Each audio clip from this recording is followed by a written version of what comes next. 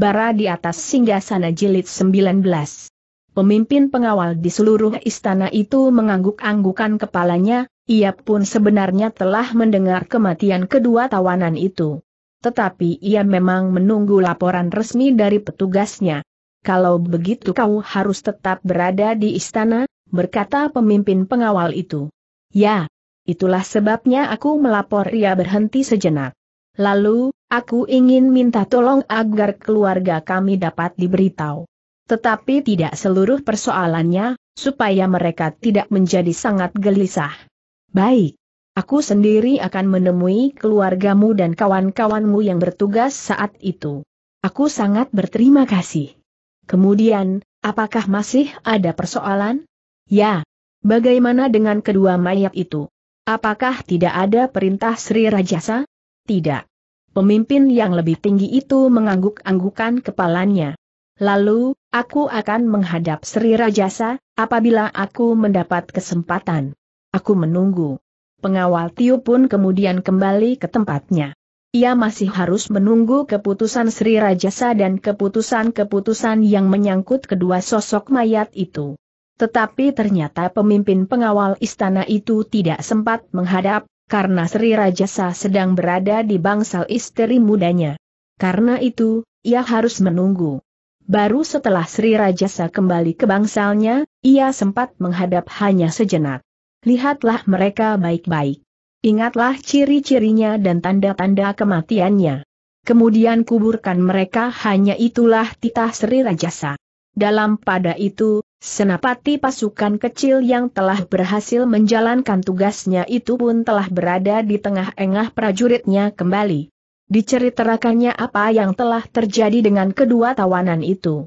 Meskipun para prajurit itu sudah mendengar bahwa kedua tawanan itu mati, tetapi baru dari senapatinya mereka mendapat keterangan yang jelas. Kita tidak dianggap bersalah, dan kita boleh pulang beristirahat waktu yang diberikan kepada kita tidak disebutkan, tetapi tentu seperti peraturan yang berlaku setelah melakukan tugas-tugas kecil kita beristirahat dua hari dua malam. Tugas kecil bertanya seorang prajurit. Senapati itu tidak menjawab. Tetapi ditatapnya saja prajurit itu yang kemudian menundukkan kepalanya. Dalam pada itu, Anusapati pun berkata, jadi, kita semuanya mendapat waktu beristirahat dua hari dua malam, sebelum kita kembali ke pasukan induk. Hamba tuanku, jawab senapati itu.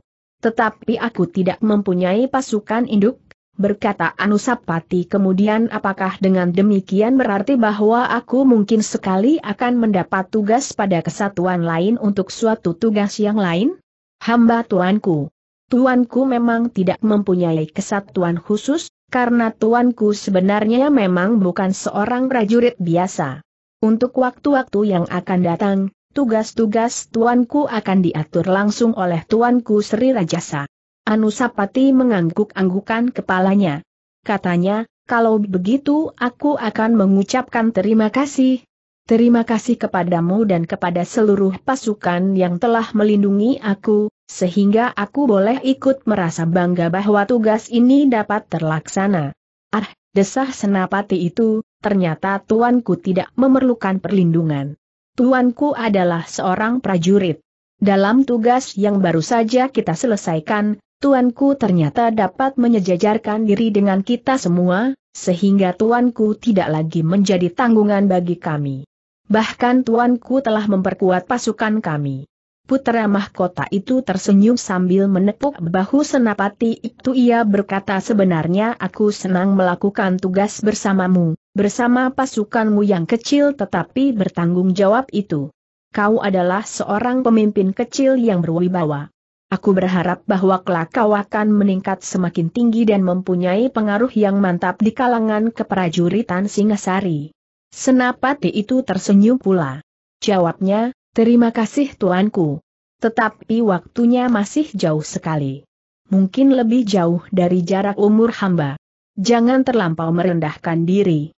Siapa tahu, tugas ini salah satu pancaran bagimu. Tetapi Senapati itu bahkan tertawa. Sejenak kemudian Anusapati pun minta diri kepada Senapati itu dan seluruh prajurit-prajuritnya. dan ia pun akan kembali ke bangsalnya. Istrinya pasti sudah menunggu. Bahkan ibunya pasti juga menantinya dengan cemas. Namun sambil menghitung langkahnya ia selalu dibayangi oleh tugas-tugas mendatang yang pasti akan lebih berat. Namun lebih dari itu, ternyata pula ia sudah menghadapi pengkhianatan-pengkhianatan yang ada di dalam dan di luar istana, sehingga putra mahkota itu benar-benar telah merasa terkepung. Langkah Anusapati tertegun ketika ia lewat di sebelah pintu gerbang taman. Dilihatnya seorang juru taman sedang menjinjing bumbung bambu berisi air. Dengan serta-merta Anusapati berhenti. Namun kemudian disadarinya kedudukannya sebagai seorang putra mahkota, sedang orang itu tidak lebih dari seorang juru taman. Namun demikian ia melangkah perlahan-lahan mendekatinya. Ampun tuanku, juru taman itu menyapa, ternyata tuanku telah kembali dengan selamat. Ya Paman Sumekar, jawab putra mahkota, perjalanan kali ini sangat menarik. Tetapi Anusapati tidak sempat mengatakannya, karena beberapa orang juru taman yang lain segera datang mendekat. Mereka pun kemudian menanyakan keselamatan Anusapati berebut dahulu. Terima kasih Paman, jawab Anusapati kepada mereka itu, seperti Paman lihat, aku sehat walafiat. Tuanku menjadi bertambah hitam, berkata seorang juru taman yang gemuk, tetapi dengan demikian tuanku menjadi semakin gagah. Anusapati tersenyum. Sedang juru taman yang lain berkata tetapi tuanku menjadi sedikit kurus. Mungkin paman. Aku kurang tidur. Di istana aku hampir tidak pernah meninggalkan pembaringan. Tetapi di perjalanan aku tidak sempat tidur, meskipun di malam hari. Siang malam tuanku berjalan? Ya, siang malam. Tidak berhenti. Anusapati tertawa. Jawabnya, tentu ada juga kesempatan untuk berhenti, sedikit beristirahat dan tidur. Oh, jadi ada juga waktu untuk tidur. Tentu ada, tetapi terlampau sedikit dibanding dengan waktu tidurku di istana. Para juru taman itu mengangguk-anggukan kepalanya tetapi mereka tidak sempat bertanya lebih banyak lagi, karena Anusapati segera minta diri, Aku masih sangat lelah. Aku akan pergi ke bangsal. Bukankah tidak ada sesuatu yang terjadi? Tidak tuanku, jawab seorang juru taman, namun tiba-tiba wajahnya berkerut, eh, maksudku, tidak ada apa-apa. Tidak tuanku, Sumekarlah yang menyahut, tidak terjadi sesuatu. Anusapati mengerutkan keningnya. Tetapi jawaban yang ragu-ragu itu membuatnya justru berdebar-debar. Sehingga dengan demikian sekali lagi ia mendesak, benar tidak ada sesuatu yang terjadi? Benar tuanku, jawab Sumekar, adalah biasa saja, apabila seorang emban bercerita bahwa Tuan Putri merindukan tuanku putra mahkota. Dan itu bukan berarti sesuatu yang harus dipersoalkan. Ya, ya tuanku, juru taman yang gemuk menyahut, memang tidak ada apa-apa. Anusapati masih berdiri termangu-mangu. Ditatapnya wajah Sumekar sejenak, namun ia pun kemudian meninggalkan tempat itu. Namun kini Anusapati tidak lagi berjalan perlahan-lahan. Langkahnya menjadi tergesa-gesa, seakan-akan ada sesuatu yang mengejarnya kesan dari percakapannya dengan para juru taman membuatnya agak berdebar-debar. Jawaban mereka agaknya tidak sewajarnya. Ketika ia melihat bumbungan bangsalnya, serasa ia ingin segera meloncat. Tetapi ternyata Anusapati masih harus tetap mengekang dirinya sendiri. Ketika ia sampai di halaman bangsal tempat tinggalnya, dilihatnya seorang emban berlari-lari masuk ke dalam. Tentu ia akan memberitahukan kedatangannya kepada istrinya. Sebenarnya lah ketika Anusapati menaiki tangga bangsalnya, ia melihat istrinya berlari-lari mendapatkannya. Begitu ia memasuki pintu, istrinya segera memeluknya erat-erat seolah-olah tidak akan dilepaskannya kembali. Apalagi ketika ia melihat air mata yang berlinang di pelupuk mata istrinya yang sedang mengandung itu. Apakah yang terjadi sepeninggalku bertanya Anusapati yang menjadi semakin curiga. Tetapi istrinya justru mencoba mengusap air matanya. Dipaksakannya bibirnya untuk tersenyum sambil berkata, maafkan Kakanda. Bukan maksud hamba membuat Kakanda gelisah. Marilah Kakanda masuk dan perkenankan hamba bertanya tentang keselamatan Kakanda di perjalanan. Anusapati menarik nafas dalam-dalam. Tetapi ia tidak boleh gelisah. Kalau ia menjadi gelisah, maka istrinya akan menjadi semakin gelisah pula. Perlahan-lahan Anusapati melangkah masuk. Tidak ada perubahan apa pun di dalam bangsal itu tidak ada barang-barang yang rusak atau berpindah tempat masih seperti ketika ditinggalkannya. Sejenak kemudian beberapa emban telah menyediakan pakaian yang bersih bagi Anusapati, karena istrinya tahu bahwa di dalam perlawatannya, Anusapati pasti tidak sempat menghiraukan pakaiannya yang menjadi kotor dan kumal itu. Silahkanlah kakanda minum dahulu. Kemudian membersihkan diri dan kemudian makan telah hamba sediakan. Anusapati mengangguk-anggukan kepalanya. Sebenarnya ia pun ingin segera mendengar apa yang telah terjadi. Tetapi ia tidak mau merusak suasana lebih parah lagi. Karena itu, maka Anusapati pun kemudian minum beberapa teguk air hangat yang telah dihidangkan oleh embannya. Segar sekali rasanya, seakan-akan telah sekian lamanya ia tidak meneguk air sesegar itu. Kemudian seperti yang diminta oleh istrinya, ia pun pergi ke pakiwan untuk membersihkan diri. Baru setelah ia berpakaian, maka putra mahkota itu pun duduk menghadapi makan yang telah tersedia. Sejak kemarin hamba menyiapkan makan dan minum apabila setiap saat tuanku datang. Tetapi bukankah aku tidak terlambat aku datang, tepat pada waktunya.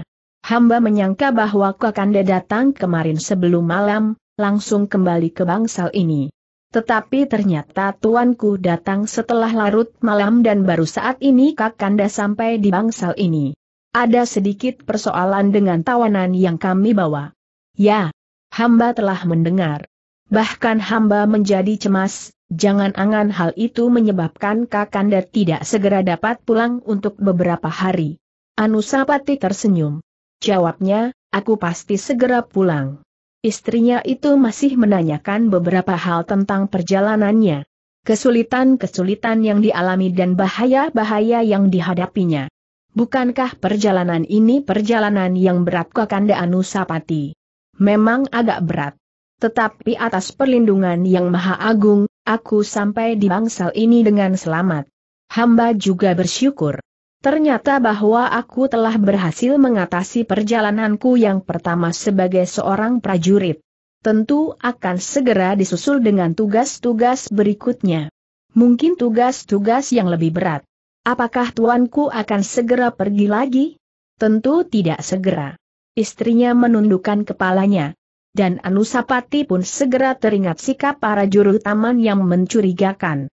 Karena itu maka ia pun segera bertanya, apakah yang telah terjadi sepeninggalnya? Apakah kau mengalami sesuatu yang tidak baik?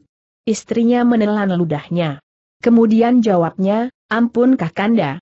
Sebenarnya hamba malu mengatakannya, seperti kelakuan anak-anak yang cengeng saja. Anusapati mengerutkan keningnya apakah yang terjadi? Istrinya tidak segera menyaut. Ditatapnya wajah seorang emban yang duduk bersimpuh di sudut ruangan itu.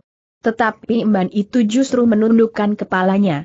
Kakanda, berkata istrinya kemudian, sepeninggal tuanku, bangsal ini telah diganggu oleh hantu. Hantu? Hantu maksudmu? Ya, mungkin roh halus atau jenisnya yang lain.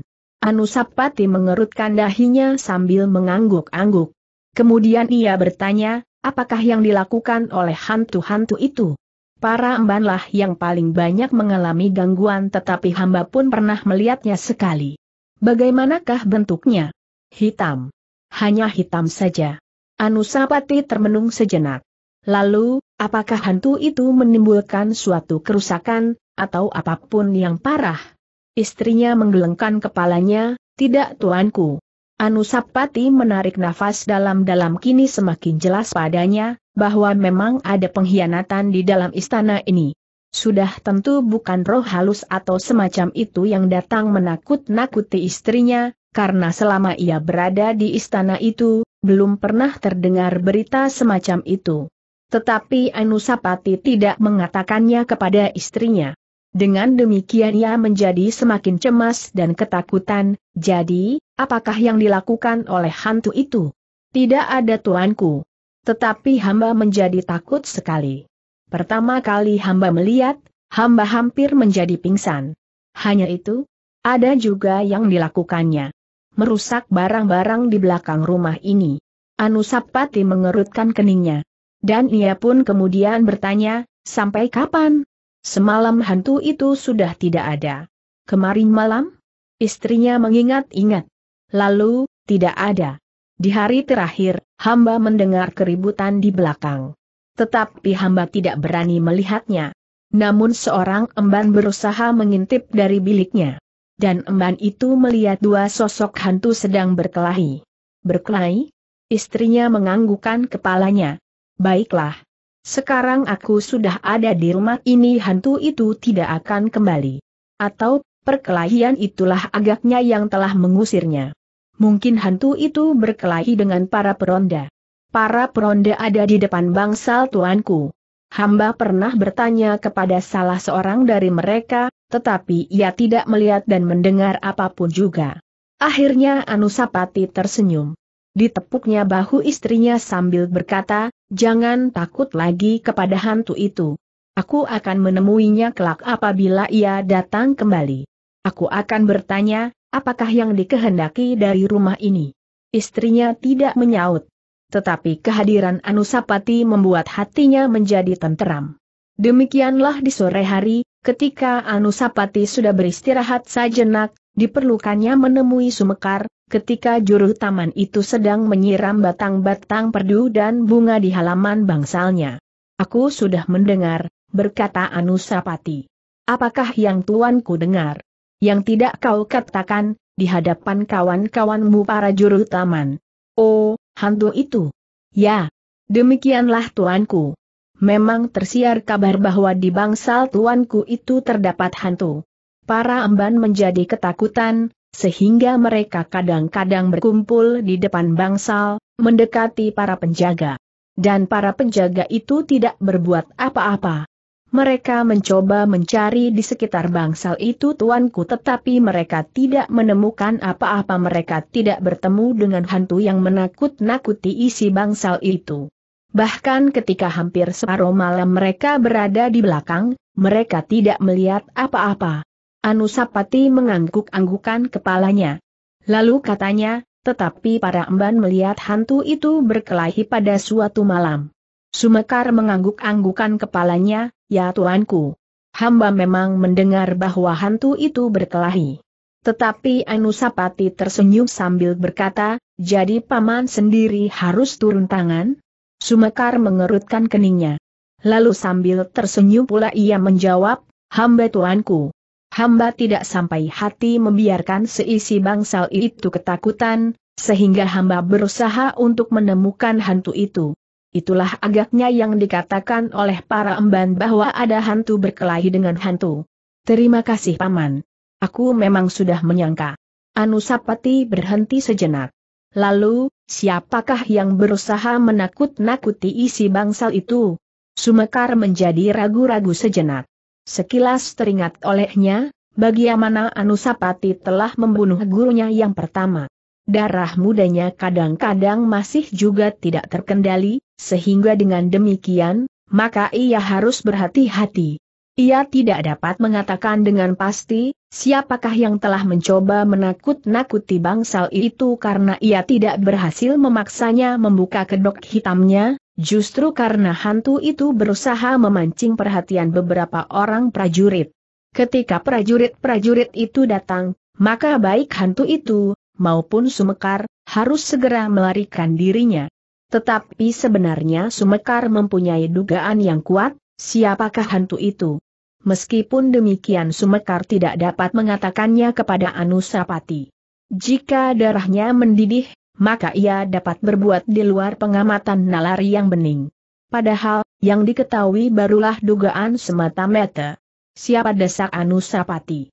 Ampun tuanku, jawab Sumekar, hamba tidak berhasil mengetahui hantu itu, karena ia sempat melarikan dirinya.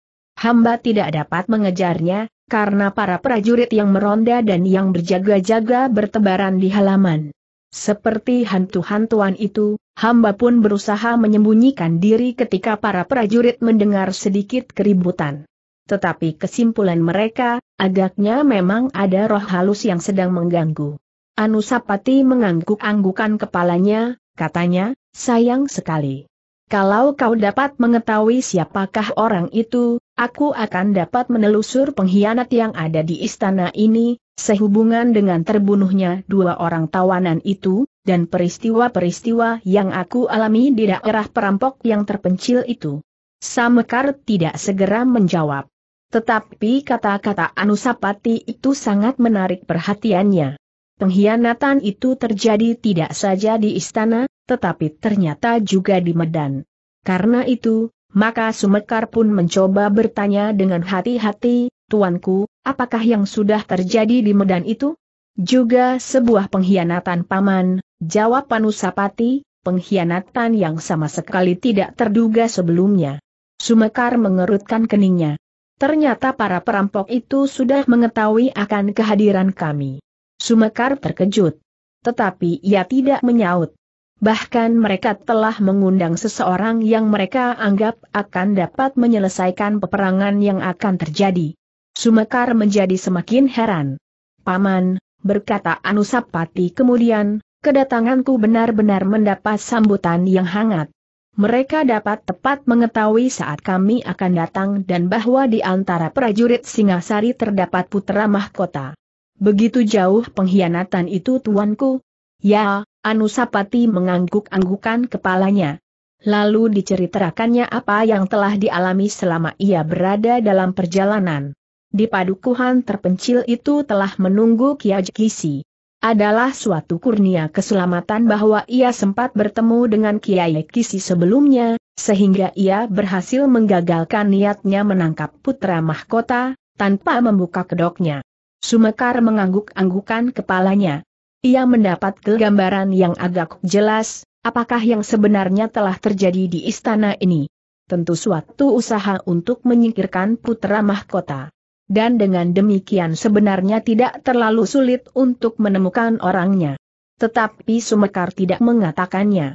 Ia tetap menyimpannya di dalam hati, meskipun ia yakin bahwa Anusapati yang bukan seorang anak muda yang dungu itu, pasti sudah mempunyai perhitungan serupa. Biarlah putra mahkota menyimpan dugaan itu di dalam hatinya, seperti aku juga menyimpan di dalam hati, berkata Sumekar kepada diri sendiri, kelak apabila Mahisa Agni berkunjung kemari, aku akan dapat memperbincangkannya. Paman, berkata Anusapati kemudian, aku mengharap bahwa yang aku katakan itu dapat menjadi bahan bagi Paman, untuk menghubungkan apa yang telah terjadi di istana.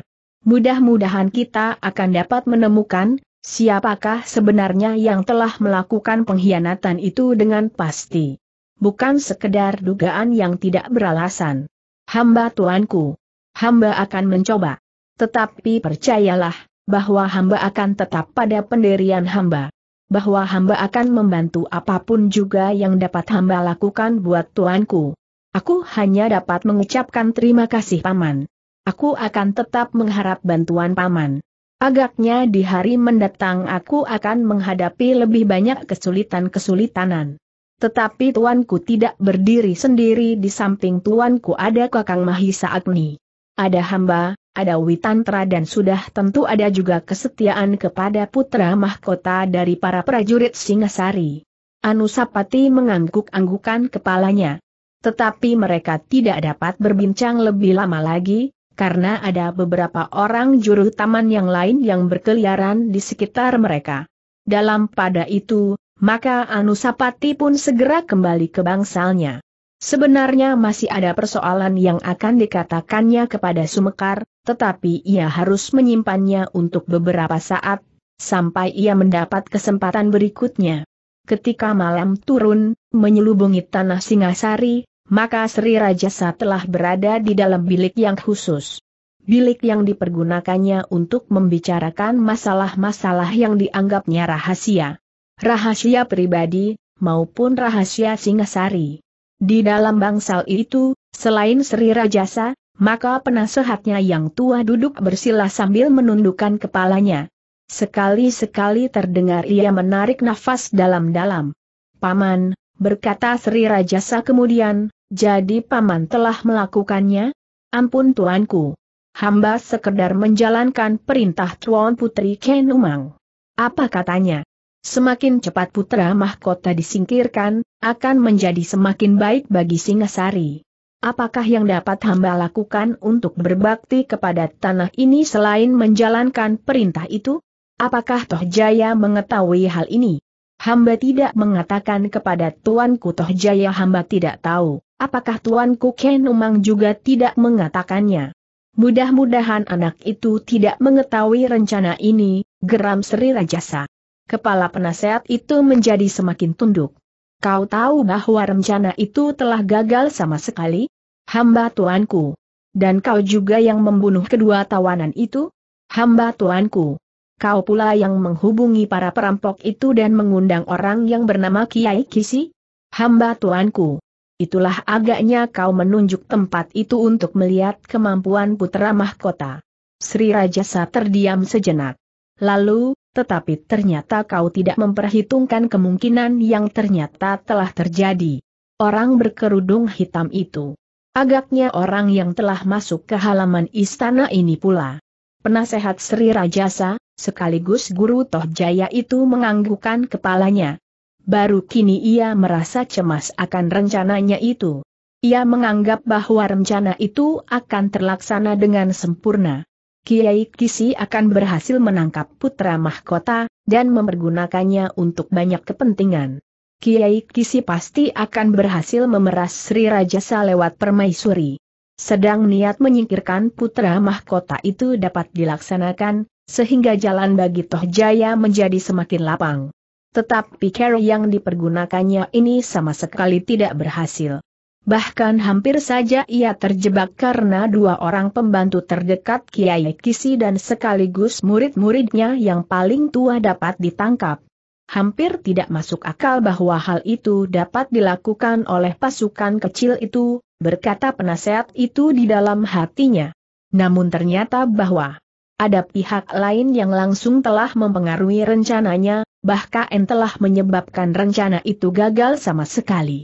Penasehat Sri Rajasa itu mengerutkan lehernya ketika ia mendengar Sri Rajasa berkata, aku tidak senang dengan tindakanmu itu. Ampun tuanku. Tetapi maksud hamba adalah membantu putra tuanku yang terkasih. Tuanku Toh Jaya. Aku sudah mempunyai rencana sendiri. Aku tidak sebodoh dan sekasar kau, berkata Sri Rajasa, apalagi kita harus memperhitungkan pihak ketiga yang tidak kita ketahui. Namun yang pasti, mereka adalah orang-orang yang memiliki ilmu yang tinggi bukan sekedar hanya satu orang. Tetapi lebih dari dua orang. Hamba tuanku. Hamba mohon ampun karena kelancangan itu. Kali ini aku masih mengampuni kau. Tetapi lain kali aku akan menentukan sikap. Terima kasih tuanku.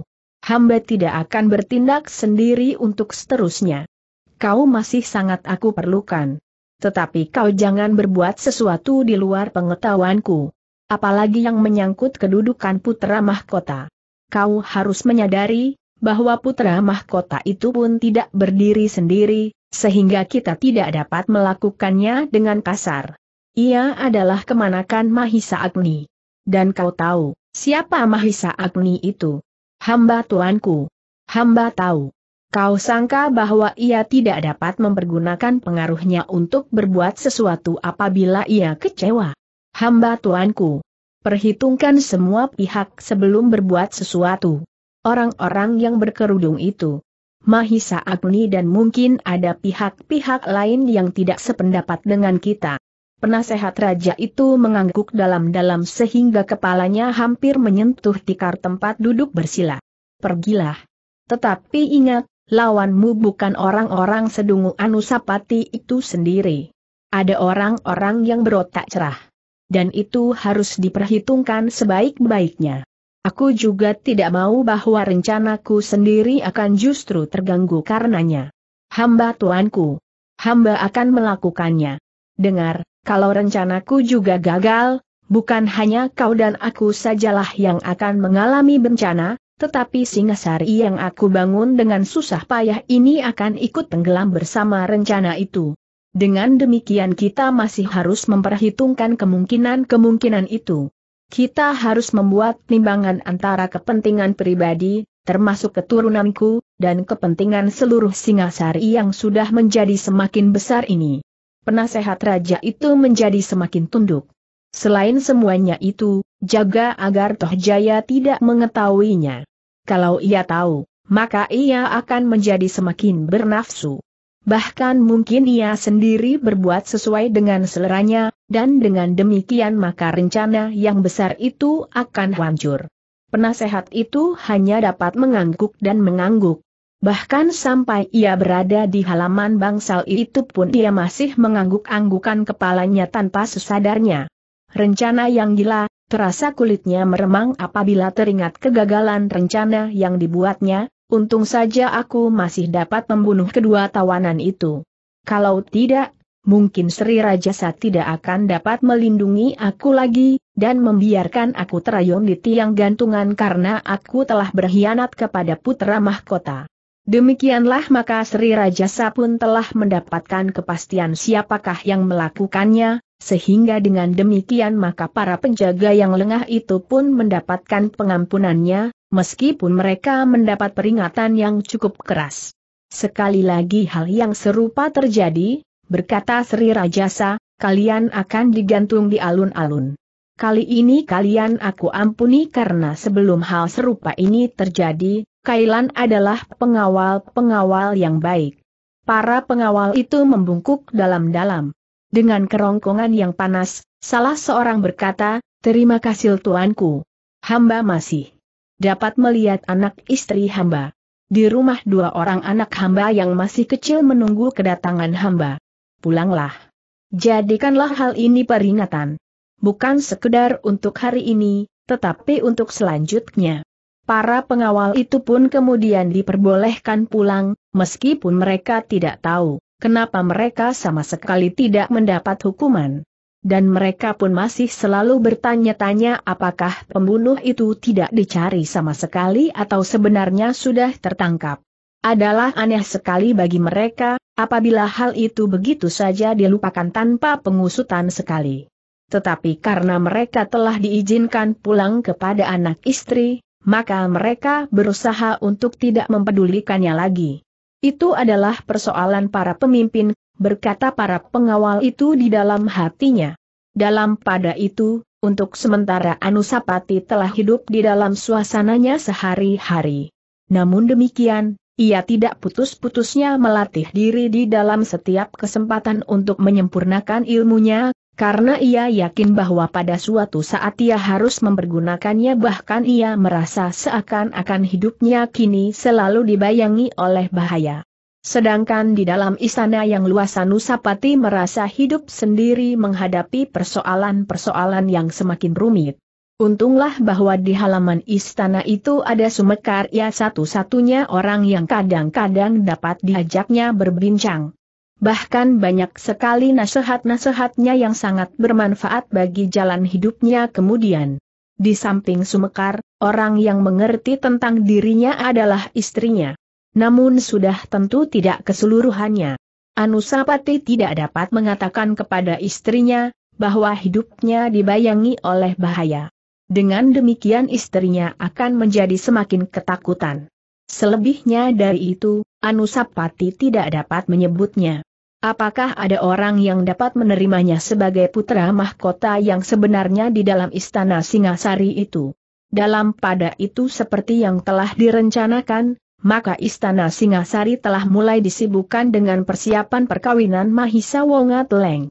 Meskipun waktunya masih belum genap setahun, tetapi tahunnya sudah berganti, sehingga istana Singasari telah dapat melaksanakan peralatan perkawinan Mahisa Wonga Teleng, mendahului perkawinan Toh Jaya sendiri. Toh Jaya masih harus memberikan banyak sekali waktunya untuk menyempurnakan dirinya, berkata Sri Rajasa kepada Ken Umang, perkawinan akan menghambat segala kemajuannya. Ia harus menjadi laki-laki yang paling baik di Singasari. Tetapi Sri Rajasa tidak mengetahui, sebenarnya lah bahwa Anusapati telah lebih dahulu menyempurnakan dirinya meskipun ia sudah menginjak kehidupan yang baru. Bahkan istrinya sudah mengandung semakin lama menjadi semakin besar, sehingga pada suatu saat, Anusapati pasti akan menjadi seorang ayah. Namun saat-saat perkawinan Mahisa Wonga Teleng itu ternyata merupakan saat-saat terpenting di dalam hidup Anusapati. Pada saat Singasari menyelenggarakan peralatan maka Mahisa Agni pun telah memerlukan hadir, karena Mahisa Wonga Teleng adalah kemanakannya pula. Memang Mahisa Agni melihat kelainan pada peralatan ini dibandingkan dengan saat-saat perkawinan Anusapati. Mahisa Wonga Teleng adalah putra Sri Rajasa yang lahir dari permaisuri. Karena itu, maka Sri Rajasa pun tampaknya lebih mantap menyelenggarakan perkawinan ini dari perkawinan Anusapati. Untunglah bahwa Anusapati sendiri tidak pernah mempersoalkannya kepada siapa pun, meskipun ia mempersoalkannya di dalam hati. Tetapi Mahisa Wonga Teleng adalah adiknya yang menurut pengertiannya adalah adiknya seayah dan seibu.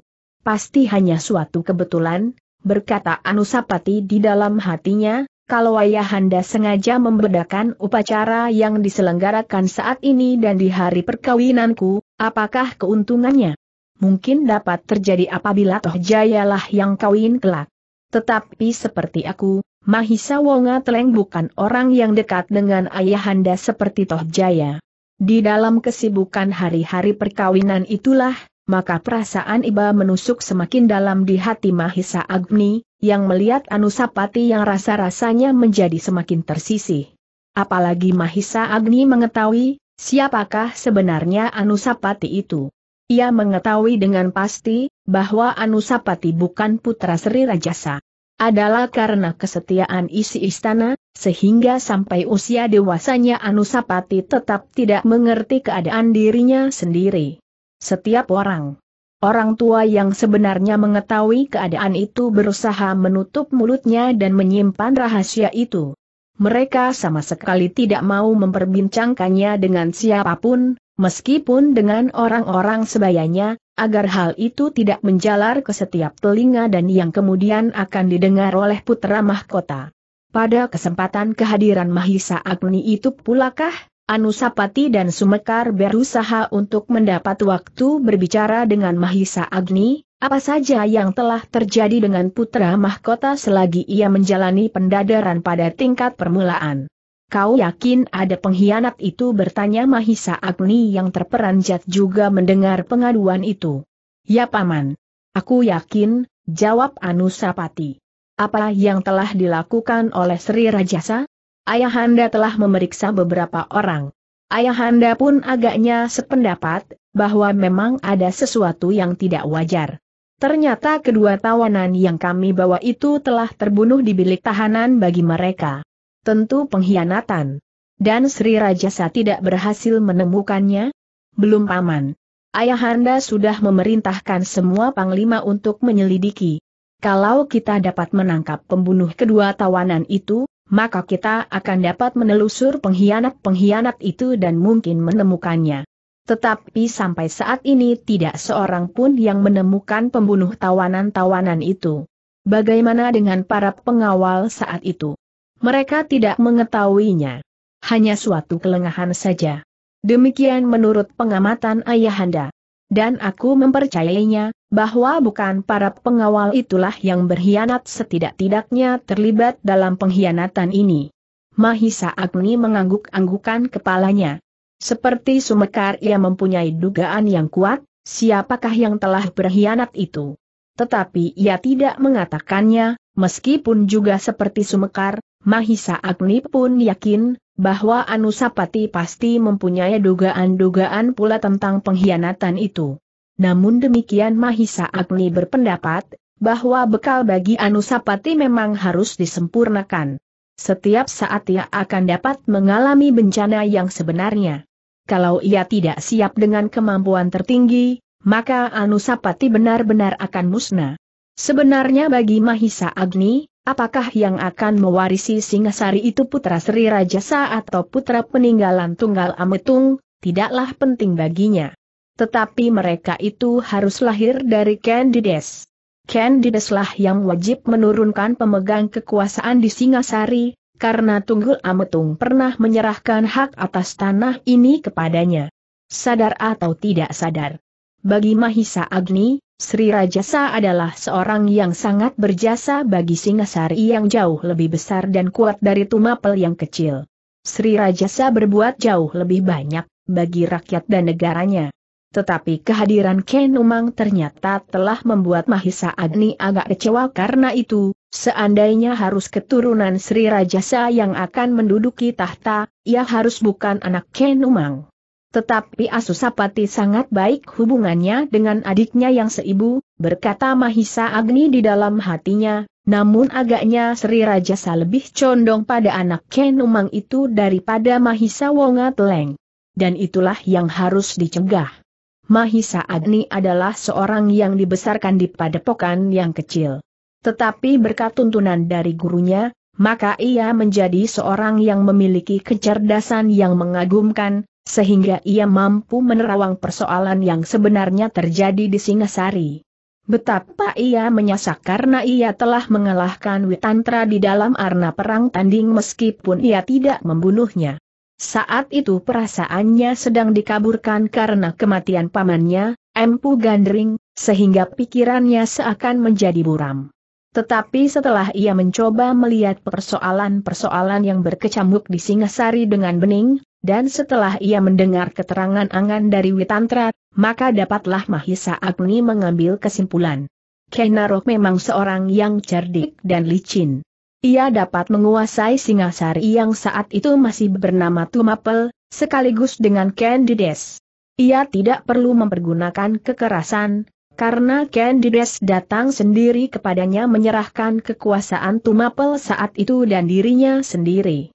Namun dalam pada itu, dengan nafsu ketamakan yang menyala-nyala Ken Umang telah hadir pula di dalam kehidupan Ken Narok setelah ia berhasil menjebaknya dengan dirinya sendiri kenangan itulah yang tampak jelas di dalam angan-angan Mahisa Agni.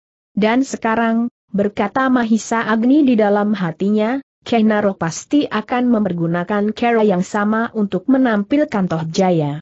Pasti tidak akan sekasar yang baru saja terjadi. Karena itu, maka Mahisa Agni pun berniat ingin meyakinkan, apakah dugaannya itu benar. Apakah ia tidak menuduh orang yang salah meskipun hanya di dalam hatinya? Apakah ia mendapat keyakinan tentang rencana menjebak putra mahkota itu maka ia akan dapat menentukan sikapnya. Demikianlah di dalam kesibukan upacara peralatan Mahisa Wonga Teleng itulah, maka Mahisa Agni pun telah menyusun rencananya sendiri bersama Sumekar di luar pengetahuan Anusapati. Kita akan menemukan orang itu, berkata Mahisa Agni yang sementara ini Anusapati tidak perlu kita beritahu lebih dahulu. Sumekar mengangguk-anggukan kepalanya. Kau dapat menjadi orang berkerudung itu. Kau tahu serba sedikit tentang apa yang telah dilakukan Anusapati atas Kiai Kisi, dan kau dapat langsung menuduhnya atas petunjuk Kiai Kisi. Kau dapat menyebut dirimu orang yang telah membunuh Kiai Kisi itu, sementara aku akan selalu berada di dekat Kainarok. Sumekar mengangguk-anggukan kepalanya. Ia tahu apa yang harus dilakukannya.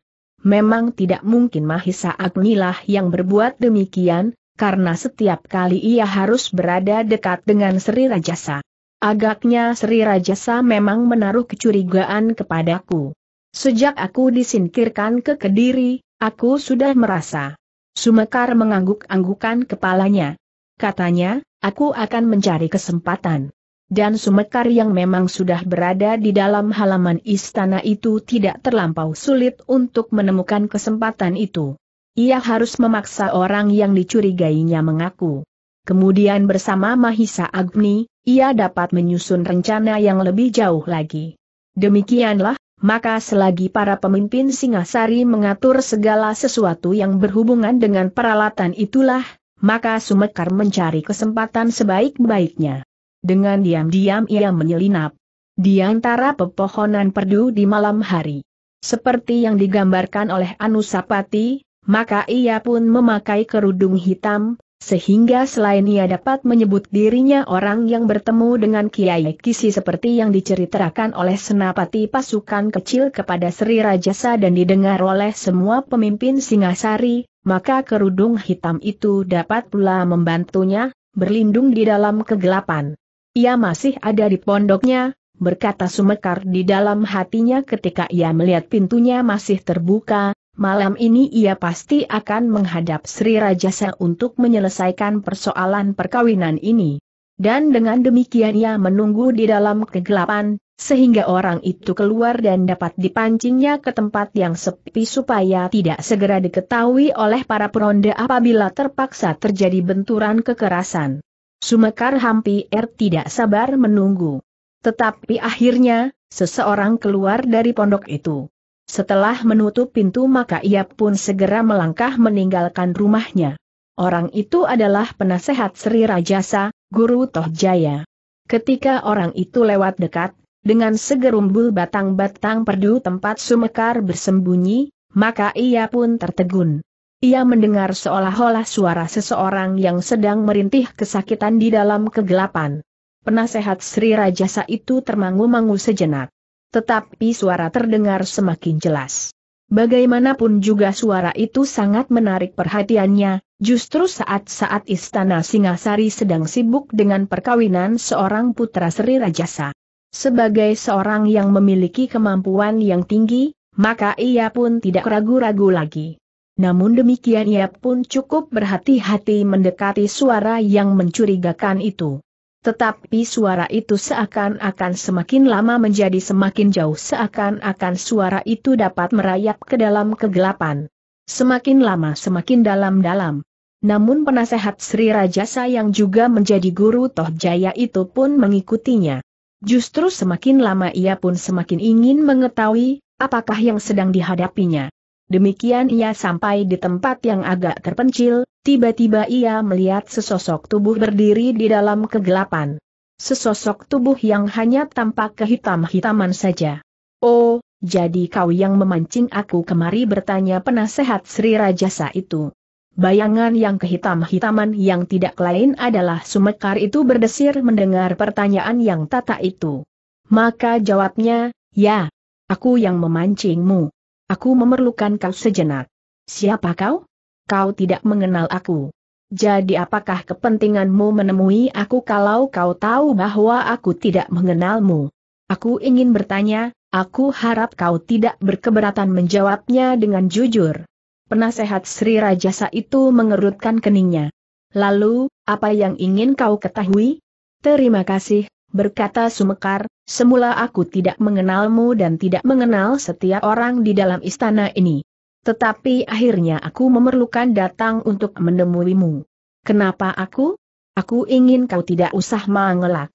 Bukankah kau yang menyiapkan jebakan untuk menangkap putra mahkota beberapa saat yang lampau, ketika putaran mahkota mengelara pendadaran? Penasehat Sri Raja Satu mengerutkan keningnya. Lalu katanya, oh, beberapa waktu yang lalu katamu. Aku tidak mengerti, apakah kau sedang mengigau atau bermimpi putra mahkota telah kembali dengan selamat. Tidak ada apa-apa yang terjadi saat itu. Ya, putra mahkota telah kembali dengan selamat, adalah bahwa rencanamu telah gagal. Begitu? Aku tidak akan berbuat apa-apa. Aku hanya ingin meyakini, bahwa demikianlah yang terjadi saat itu. Bukankah memang demikian? Aku tidak tahu ujung pangkal pembicaraanmu. Sudahlah, apa yang sebenarnya kau mau? Sumekar menarik nafas dalam-dalam. Dilihatnya penasehat Sri Rajasa itu berdiri tegak siap untuk menghadapi segala kemungkinan. Ia memang bukan orang kebanyakan, gumam Sumekar di dalam hatinya. Kisanak, berkata Sumekar kemudian, beberapa saat yang lampau, kawan-kawanku pernah mendapat kesempatan menemuimu bahkan salah seorang dari kami telah dilayani langsung oleh Sri Rajasa. Sebenarnya aku tidak ingin ikut bermain-main dengan isi istana ini. Tetapi ternyata bahwa aku telah terlempar kemari juga pada suatu saat. Adalah kebetulan sekali bahwa aku menemui Kiai Kisi selagi ia mendapat perintah dari istana ini untuk menjebak putra mahkota. Orang yang disebut-sebut menghubunginya adalah kau. Nah, apa katamu? Aku tidak akan berbuat apa-apa. Aku hanya ingin membuktikan, apakah benar kaulah yang telah menghubungi Kiai Kisi? Persetan. Aku tidak mengenal nama orang itu. Jangan ingkar kisanak. Kiai Kisi dengan bangga menyebut kau sebagai orang yang paling tahu tentang rencana ini. Dan kalau kau tidak mempunyai hubungan apa pun dengan Kiai Kisi, kenapa kau bunuh kedua orang tawanan itu? Persetan. Jangan ingkar. Aku tidak mempunyai persoalan dengan kau. Aku hanya ingin berpesan kepadamu, jangan bertindak terlampau ceroboh. Sebenarnya aku kasihan melihat kegagalanmu. Tetapi apa boleh buat, karena aku memang harus membunuh Kiai Kisi. Gila. Itu urusanmu. Kenapa kau memilih Kiai Kisi? Diam. Diam, bentak penasehat Sri Rajasa, aku tidak tahu apa yang kau katakan. Sekarang apa maumu? Pergilah, atau aku akan membunuhmu. Jangan sombong. Ternyata isi istana ini tidak seperti yang aku duga. Kawanku tidak berhasil ditangkap oleh Sri Rajasa sendiri. Apalagi kau Mahisa Agni, para panglima. Semuanya tidak banyak berarti orang. Diam sejenak lalu, Hi apakah kau sudah lama berhubungan dengan Kiai Kisi? Diam, diam, dan tiba-tiba, apa pedulimu? Kalau kau memang tidak mempunyai kepentingan apa pun juga, kenapa kau datang kemari dan membicarakan kematian Kiai Kisi yang sudah lalu itu? Jadi kau menanggap persoalannya sudah selesai? Diam, diam. Aku tidak peduli lagi. Kau tidak mendendam karena kegagalan itu? Persetan. Aku bunuh kau. Aku ingin menawarkan jasa kepadamu. Kau sudah gagal mempergunakan Kiai Kisi. Bagaimana kalau kita berhubungan untuk kepentingan yang sama? Niat itu baru terpikir setelah aku merenung cukup lama. Kenapa saat itu aku tidak mengambil alih tugas Kiai Kisi, menangkap putra mahkota? Penasehat Sri Rajasa itu terkejut mendengar tawaran itu. Ia tidak menyangka sama sekali, bahwa orang yang tidak dikenal itu telah menyatakan keinginannya untuk bekerja bersama. Apakah kau bersedia memikirkannya? Kau tentu menyanggupi upah yang cukup banyak kepada Kiai Kisi, atau kau memberi kesempatan kepadanya untuk memeras istana Singasari. Bagaimanapun juga lewat permaisuri aku akan mendapatkan kesempatan untuk memeras. Bukankah demikian juga agaknya yang akan dilakukan oleh Kiai Kisi?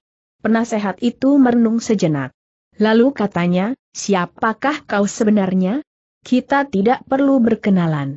Aku hanya minta kepadamu, berilah kesempatan kepadaku untuk melakukannya, seperti yang akan dilakukan oleh Kiai Kisi. Aku tidak minta upah berapapun juga. Aku ingin mendapat upah itu dari usaha pemerasan. Aku tidak tahu menahu. Persetan kalau kau ingin menculik putra mahkota, lakukanlah. Tetapi aku tidak ikut campur. Jangan ingkar. Aku tidak memerlukan banyak bantuanmu. Kau hanya akan memberitahukan kepadaku, ke mana putra mahkota akan melakukan pendadaran berikutnya, setelah pendadarannya yang pertama. Aku yakin bahwa masih akan ada perjalanan yang harus dilakukannya. Mungkin dalam waktu dekat setelah peralatan ini selesai seluruhnya. Aku tidak tahu. Kau akan tahu. Kita akan berhubungan. Berilah aku petunjuk kalau aku berhasil memeras istana Singasari, maka kau akan mendapatkan bagian dan sekaligus kau mendapat keuntungan bahwa putra mahkota telah tersisih tanpa memberikan kecurigaan, karena ia gugur dalam menjalankan tugas. Sementara itu, kau pun pasti akan mendapatkan upah atau kedudukan atau apa pun yang dapat menjamin hari tuamu dari Toh Jaya atau malahan dari Sri Rajasa sendiri. Aku akan digantung oleh Sri Rajasa. Ia akan berterima kasih kepadamu. Sama sekali tidak. Sri Rajasa menjadi sangat murka karena usaha pembunuhan atas putra mahkota. Sumekar mengerutkan keningnya. Kini ia yakin bahwa Sri Rajasa benar-benar tidak terlibat di dalam usaha pembunuhan itu. Jadi, apakah kita dapat berbuat di luar pengetahuan Sri Rajasa? Tetapi bukankah lenyapnya Anusapati dapat memberikan terapat yang baik bagi Toh Jaya? Ada Mahisa Wonga Teleng, penasehat itu bergumam seolah-olah kepada diri sendiri. Apa pedulimu kepada anak itu, Toh Jaya mempunyai kesempatan lebih baik. Ia lebih dikenal oleh rakyat Singasari dari adik Anusapati yang lahir dari ibu yang sama itu. Ya, jadi, apakah kau setuju? Penasehat itu berpikir sejenak. Namun tiba-tiba ia membentak, meskipun tidak terlampau keras, jangan ganggu aku. Pergi. Pergilah atau aku akan membunuhmu. Jangan marah sahut Sumekar, tetapi bagaimanakah dengan tawaranku? Aku akan dapat berbuat lebih baik dari Kiai Kisi yang sudah aku bunuh itu. Aku tidak peduli. Dan aku tidak memerlukan apa pun juga selain petunjuk, kapan dan ke mana putra mahkota akan pergi. Justru kaulah yang akan mendapat bagian dari pemerasan yang bakal terjadi itu, selain hadiah dari Tuan Kutoh Jaya. Persetan. Sumekar tertawa. Nada suaranya terdengar tinggi mengombak. Katanya, jangan terlampau berhati-hati. Usaha yang demikian adalah wajar. Jangan menunggu kedudukan putra mahkota menjadi semakin kuat. Kau tidak akan pernah mendapat kesempatan untuk menyingkirkannya. Sri Rajasa sendiri akan melakukannya, tiba-tiba orang itu terkejut mendengar suaranya sendiri dengan serta-merta ia berkata, maksudku, persoalan putra-putranya adalah persoalan Sri Rajasa sendiri. Demikian juga masalah putra mahkota. Aku tidak tahu. Aku tidak mencampuri persoalannya. Benar, aku tahu bahwa semuanya berada di tangan Sri Rajasa. Juga tentang putra mahkota. Tetapi kalau Anusapati sudah tidak ada, maka mau tidak mau, putra mahkota pasti beralih. Sumekar yang berkerudung itu terdiam sejenak, memang tidak pantas kau menentukan rencana sendiri di luar rencana Sri Rajasa dalam keseluruhan. Tetapi apabila hasilnya menguntungkan, kau tidak akan mendapat marah. Penasehat itu ragu-ragu sejenak terngiang kembali pesan Sri Rajasa, agar ia tidak membuat rencana tersendiri. Tetapi ternyata dugaan orang berkerudung itu tepat. Namun demikian katanya, bukalah kerudungmu. Kita akan berbicara secara terbuka. Sumekar menjadi berdebar-debar. Tetapi tentu ia tidak dapat melakukannya. Karena itu maka jawabnya, aku tidak ingin mengenal dan dikenal lebih jauh dari persoalan kita masing-masing. Kita bersangkutan di dalam persoalan putra mahkota. Sesudah itu kita tidak mempunyai hubungan apa-apa lagi. Karena itu, biarlah kita tidak saling mengenal lebih dalam. Kau memerlukan kepercayaan. Kalau tidak, aku tidak akan membuat persoalan apa pun juga. Aku tidak tahu menahu habis perkara. Kalau aku membuka kerudung ini, kau memberitahu persoalan putra mahkota? Aku tidak mengatakan. Sumekar menjadi termangu-mangu apakah ia akan dapat memenuhi permintaan penasehat itu? Dan apakah ia tidak akan ingkar janji apabila ia telah membuka kerudungnya? Tetapi untuk membuka kerudungnya, dan memperkenalkan dirinya adalah tidak mungkin sama sekali. Ia tidak akan mendapat kesempatan apa pun juga, karena atas permintaan penasihat itu, Sri Rajasa pasti akan segera menangkapnya dan membunuhnya tanpa ampun. Dengan demikian maka ceritanya tentang juru taman akan segera berakhir sebelum ia berhasil melihat putra mahkota duduk di singgasana. Karena itu, maka katanya, kita tidak perlu saling mengenal lebih banyak sudah aku katakan, persoalan kita terbatas pada persoalan ini saja. Bagaimana mungkin kita berbicara satu sama lain tidak saling mengenal? Apa pula untungnya aku membuka kedoku kalau kau juga tidak mengenal aku? Itu lebih baik bagiku daripada kau berada di balik tabir hitam itu. Sudahlah. Katakan bahwa kau akan memberi aku kesempatan serupa dengan Kiai Kisi. Kapan aku harus menghubungi kau lagi untuk menerima petunjuk itu sepekan lagi, sebulan atau kapan saja? Aku dapat juga datang setiap sepekan sekali, misalnya. Jika keadaan dapat diperhitungkan beritahukan hal itu kepadaku. Cukup. Aku tidak punya waktu untuk berbicara dengan orang yang tidak aku kenal. Kau juga belum mengenal Kiai Kisi sebelumnya? Bohong. Hi, jadi kau sudah mengenalnya? Tidak. Tidak. Jangan ingkar kisana sangka aku tidak tahu sama sekali tentang ilmu kanuragan? Nah, apakah kau masih juga akan menyangkal bahwa ilmumu pasti bersumber dari cabang ilmu yang sama dengan ilmu Kiai Kisi? Bohong. Kau mengigau? Sumekar yang berkerudung hitam itu tertawa lalu katanya, sebenarnya kau tidak akan dapat menghindarkan diri lagi.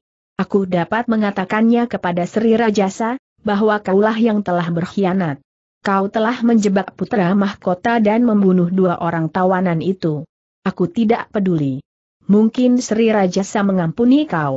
Tetapi aku dapat mengumumkan kepada rakyat Singasari, bahwa penasehat Sri Bagindalah yang telah berkhianat.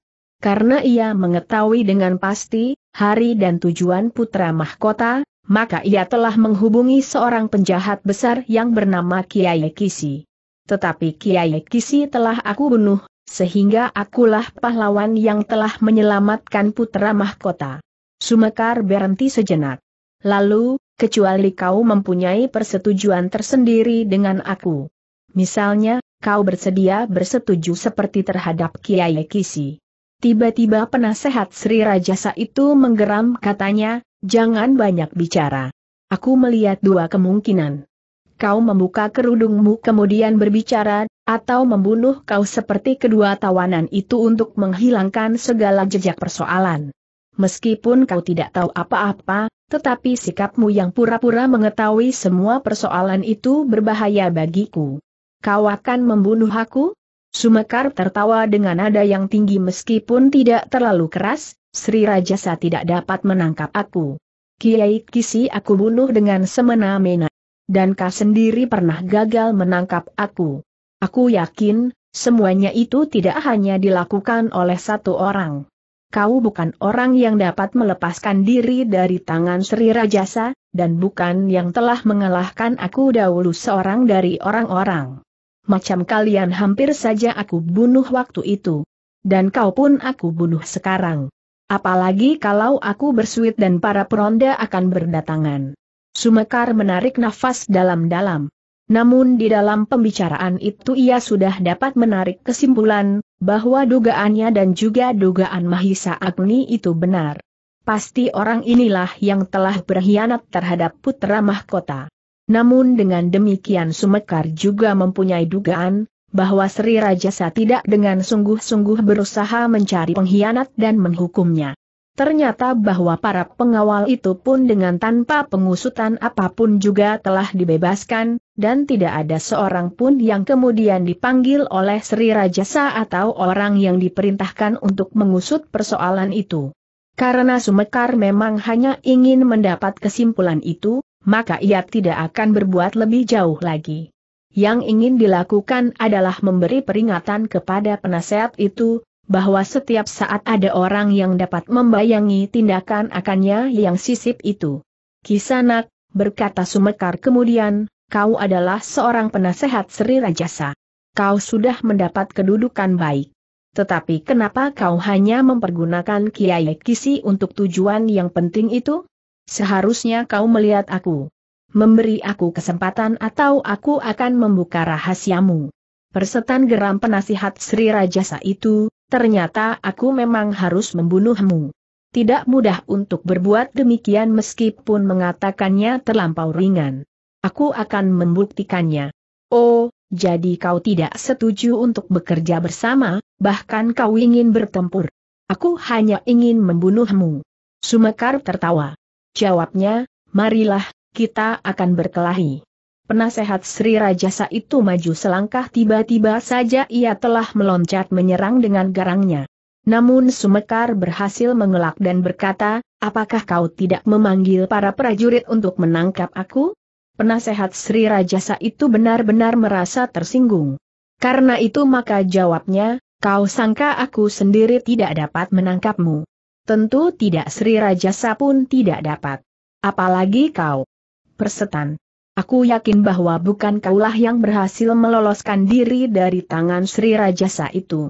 Ia tidak akan memerlukan keterangan tentang waktu, kapan putra mahkota akan keluar dari istana dengan sepasukan kecil prajurit seperti yang baru saja terjadi. Orang itu pasti akan langsung mengambil putra mahkota dari halaman istana. Tetapi Sumakar tertawa. Katanya, baiklah. Kau menolak kerjasama itu. Sekarang kau mau menangkap aku. Barangkali itu memang lebih baik supaya aku dapat bercerita panjang lebar tentang Kiai Kisi dan usahanya. Hi, aku belum mengatakan. Sebelum Kiai Kisi meninggal ia memberitahukan kepadaku, siapa yang telah menghubunginya kau masih ingkar. Persetan. Persetan. Setiap orang dapat mengarang cerita demikian. Sekarang aku akan membunuhmu, supaya kau berhenti mengigau, Sekali lagi Sumekar tertawa. Tetapi ia tidak lengah sama sekali, karena penasehat Sri Rajasa itu benar-benar telah bersiap untuk menerkamnya. Dan dugaan Sumekar itu benar-benar terjadi. Tiba-tiba saja penasehat Sri Rajasa itu benar-benar menyerangnya. Sebuah sambaran jari-jarinya yang mengembang hampir saja menyobek pelipisnya. Untunglah bahwa Sumekar cepat memiringkan kepalanya, sehingga jari-jari itu meluncur senyari dari wajahnya. Sambil meloncat mundur Sumekar berkata, serangan Kiai Kisi tepat seperti tata gerak ini. Omong kosong. Jangan menyangkal. Aku mengenal caramu bertempur sebaik-baiknya. Penasehat Sri Rajasa itu tidak menyahut tetapi ia mengulangi serangannya lebih garang lagi. Sumekar sekali lagi surut selangkah. Namun tiba-tiba ia menyerang lawannya. Bahkan ia berhasil menirukan beberapa unsur tata gerak yang kasar itu. Sejak ia berada di padepokan Empu Sade ia sudah mulai mempelajari tata gerak yang agak kasar dari gurunya. Dengan sedikit memaksa diri, ia benar-benar berhasil bertempur dengan kasar dan bahkan hampir tidak ada bedanya dengan lawannya. Tata gerak itu benar-benar telah mengherankan penasihat Sri Rajasa. Bagaimana mungkin orang itu mampu menirukan beberapa unsur tata geraknya? Ia pernah berkelahi dengan Kiai Kisi, katanya di dalam hati, ia mencoba menirukan tata geraknya. Sedang Sumekar pun kemudian berkata, kau masih akan ingkar melihat tata gerak ini? Aku mempelajari dari Kiai Kisi. Dan kau tidak akan dapat mengelakkan kenyataan bahwa tata gerak ini mirip sekali dengan tata gerakmu sekarang. Penasehat Sri Rajasa itu sama sekali tidak menyahut tetapi ia menyerang Sumekar semakin garang. Tangannya terayun-ayun mengerikan dengan jari yang mengembang dan seperti kuku burung Garuda yang menyambar-nyambar, ia mencoba menerkam leher lawannya. Sumekar menjadi berdebar-debar melihat tata gerak itu semakin lama menjadi semakin kasar. Jauh lebih kasar dari ilmu yang pernah dipelajarinya dari M. Pusada. Dalam pada itu, di Paseban dalam, Sri Rajasa duduk dihadap oleh Mahisa Agni dan beberapa orang pemimpin yang lain.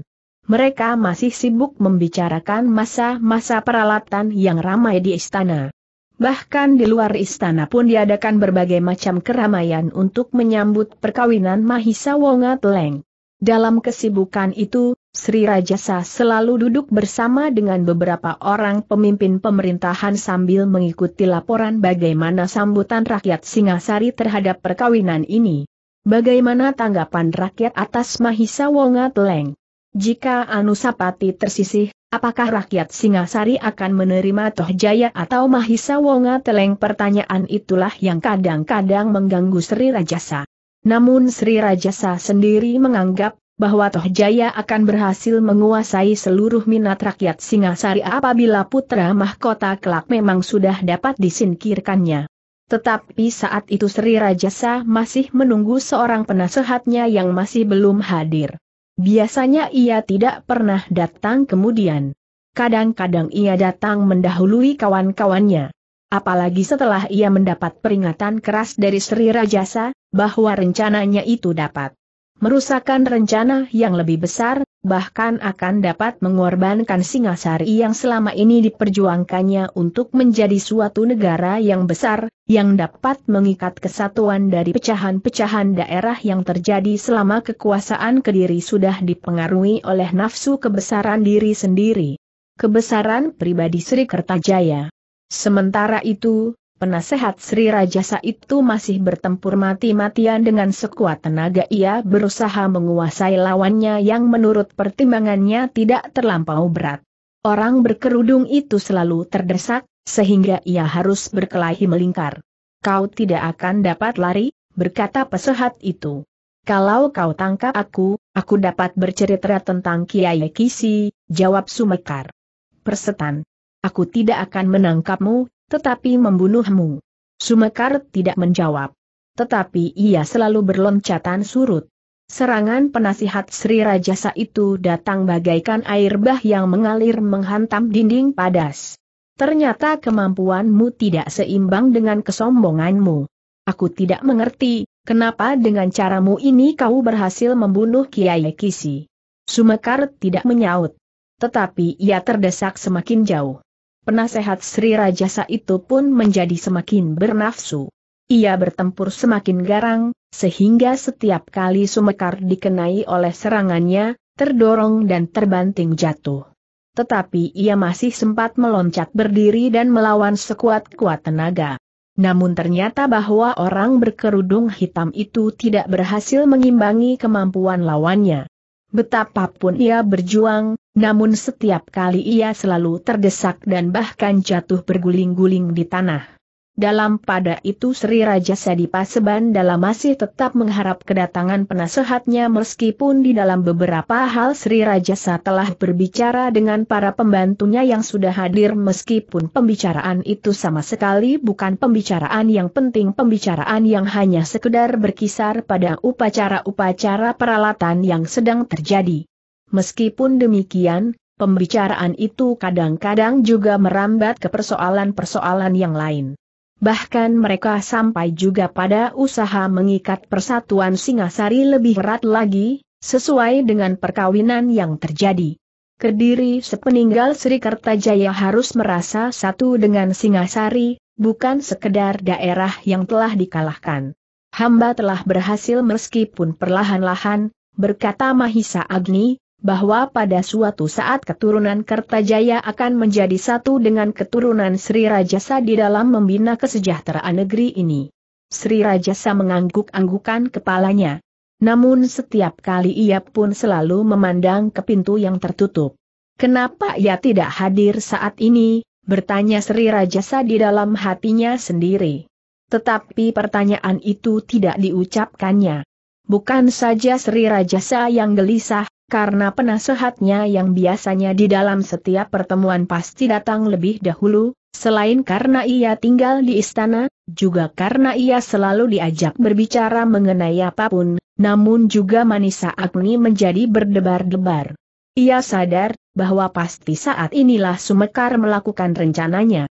Dengan demikian maka Mahisa Agni membayangkan, bahwa saat itu memang sedang terjadi pertempuran yang pasti merupakan pertempuran yang sengit antara Sumekar dengan penasihat Sri Rajasa, karena penasihat Sri Rajasa yang sekaligus guru Toh Jaya itu pun memiliki ilmu yang cukup tangguh. Demikianlah agaknya yang telah terjadi Sumekar harus bertempur mati-matian untuk mempertahankan dirinya.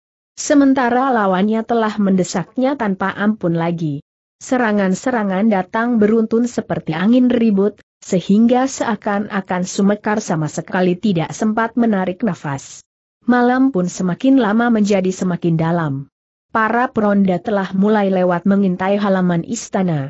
Tetapi perkelahian yang terjadi itu adalah perkelahian di antara orang berilmu sehingga tidak banyak menumbuhkan keributan apalagi mereka semakin jauh terperosok ke dalam rimbunnya dedaunan di halaman yang agak sepi. Nah, apakah kau sekarang masih mampu membanggakan dirimu bertanya penasehat Sri Rajasa?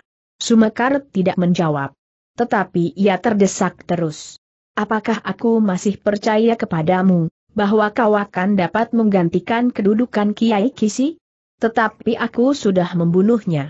Aku tidak percaya pasti orang lain yang melakukannya. Kau hanya sekedar mendengar berita tentang kematian Kiai Kisi. Kemudian kau ingin menarik keuntungan dari peristiwa itu. Akulah yang lelah membunuhnya dengan tanganku. Omong kosong. Sumekar tidak menjawab lagi tetapi ia kini terdorong semakin jauh. Namun demikian, Ia berusaha untuk tetap berada di dalam kegelapan, sehingga tidak segera dapat diketahui oleh para peronda. Karena penasehat Sri Rajasa masih juga belum datang, selain Sri Rajasa, Mahisa Agni pun menjadi semakin gelisah. Seharusnya Sumekar tidak menimbulkan kematian di dalam halaman istana. Jika demikian, maka keadaan akan menjadi berubah sama sekali. Peralatan perkawinan yang berlangsung untuk beberapa hari akan menjadi kacau. Namun selain daripada itu, Sri Rajasa pasti akan segera mengambil tindakan akan yang lebih mantap lagi, karena ia merasa bahwa rahasia penasehatnya itu sudah diketahui orang. Demikian juga pasti dengan Toh Jaya yang dengan diam-diam ditempa oleh penasehatnya itu di dalam walah kanuragan. Dengan demikian maka setiap orang pasti akan dicurigainya. Termasuk Anusapati dan Sumekar sendiri, langsung atau tidak langsung. Karena saat itu ia berada bersama Sri Rajasa, maka ia akan dapat membebaskan dirinya dari segala tuduhan, namun seisi istana pasti akan menjadi kalang kabut. Tetapi ternyata Sumekar sendiri tidak dapat segera mengatasi keadaan. Bahkan semakin lama semakin jelas bagi lawannya, bahwa ia akan berhasil membunuh orang berkerudung itu. Aku akan dengan bangga mempersembahkan kepalamu kepada Sri Rajasa, berkata penasehat itu, kalau benar Sri Rajasa pernah gagal menangkapmu, maka sekarang akulah yang berhasil. Kalau selama ini Sri Rajasa selalu bertanya-tanya siapakah orang berkerudung hitam itu, maka jawabnya akan segera aku dapatkan. Tidak semudah itu, sahut Sumekar. Penasehat Sri Rajasa tertawa. Namun dengan tiba-tiba saja ia menyerang dada orang berkerudung hitam itu dengan kakinya. Sumekar masih berusaha menangkis serangan itu, tetapi agaknya serangan itu terlampau dahsyat, sehingga Sumekar terpelanting jatuh di tanah. Dengan nafas terengah-engah Sumekar berusaha berdiri. Namun ia pun sekali lagi terjatuh dengan lemahnya bersandar pada kedua belah tangannya. Penasehat Sri Rajasa itu kini berdiri bertolak pinggang di hadapan orang berkerudung hitam yang kini terduduk dengan lemahnya, seolah-olah tidak mungkin untuk bangun lagi. Sambil tertawa penasehat Sri Rajasa itu berkata, Nah, sekarang baru kau kenal, siapa aku. Mungkin kau pernah lolos dari tanganku ketika kau datang bertiga. Tetapi mungkin yang datang waktu itu juga bukan kau sendiri, sehingga aku tidak dapat mengalahkannya. Tetapi kini, kau tidak berdaya lagi melawan aku. Sebentar lagi nyawamu akan melayang. Jangan. Jangan kau bunuh aku. Hi, kau merengek seperti anak-anak. Dengar. Aku tidak pernah menghidupi lawan-lawanku. Apalagi kau telah membunuh saudaraku. Meskipun tidak seperguruan, tetapi kami menghisap ilmu dari sumber yang sama. Gurunya adalah saudara seperguruan dengan guruku. Siapa? Aku tidak membunuh siapa pun. Kiai Kisi. Oh, orang berkerudung hitam itu beringsut surut, tetapi aku tidak tahu, bahwa ia orang yang telah mendapat tugas darimu. Sebentar lagi kau akan mati. Biarlah aku berterus terang. Memang akulah yang menyuruhnya menangkap putra mahkota. Tetapi kau sudah merusak semua rencanaku. Bahkan kau sudah membunuhnya. Karena itu, kau akan mati. Jangan kau bunuh aku. Aku berjanji tidak akan mengatakannya kepada siapa pun juga. Aku bukan orang yang dungu. Sebelum aku membunuhmu, aku ingin tahu, siapakah sebenarnya kau? Dan siapakah kawan-kawanmu itu? Siapa pula orangnya yang telah berhasil lolos dari tangan Sri Rajasa, karena orang itu pasti bukan kau. Aku tidak tahu. Aku bergerak seorang diri minta orang berkerudung hitam itu, aku jangan kau bunuh. Aku akan bersedia melakukan tugas apa pun juga misalnya membunuh putra mahkota. Kau tidak akan dapat dipercaya. Kau tidak akan dapat melakukannya, sedangkan Kiai Kisi pun tidak berhasil melakukannya dengan sempurna penasehat itu berhenti sejenak.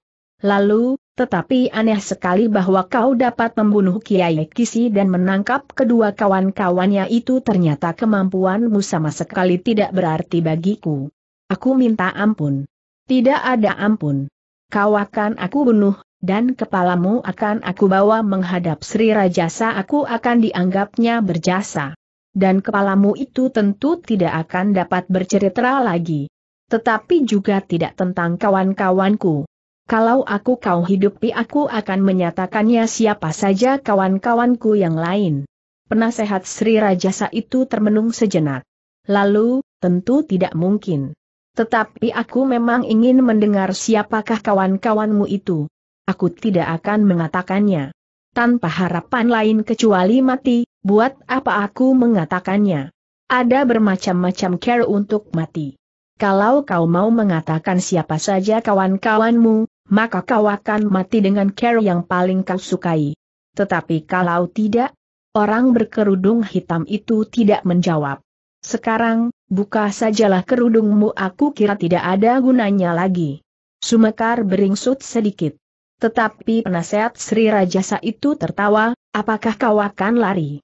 Ayo, kalau kau masih mampu bangkit, bangkitlah. Aku tidak mau membuka kerudungku, dan aku tidak mau menyebut nama kawan-kawanku tanpa jaminan bahwa aku akan tetap hidup. Tidak ada yang akan menjamin bahwa kau akan tetap hidup.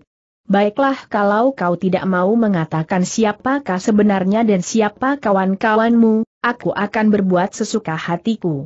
Aku akan mematahkan tanganmu lalu kakimu. Kalau kau masih dam saja, aku biarkan saja kau mati perlahan-lahan baru esok pagi aku akan mengambil kepalamu. Itu kejam sekali. Aku memang kejam.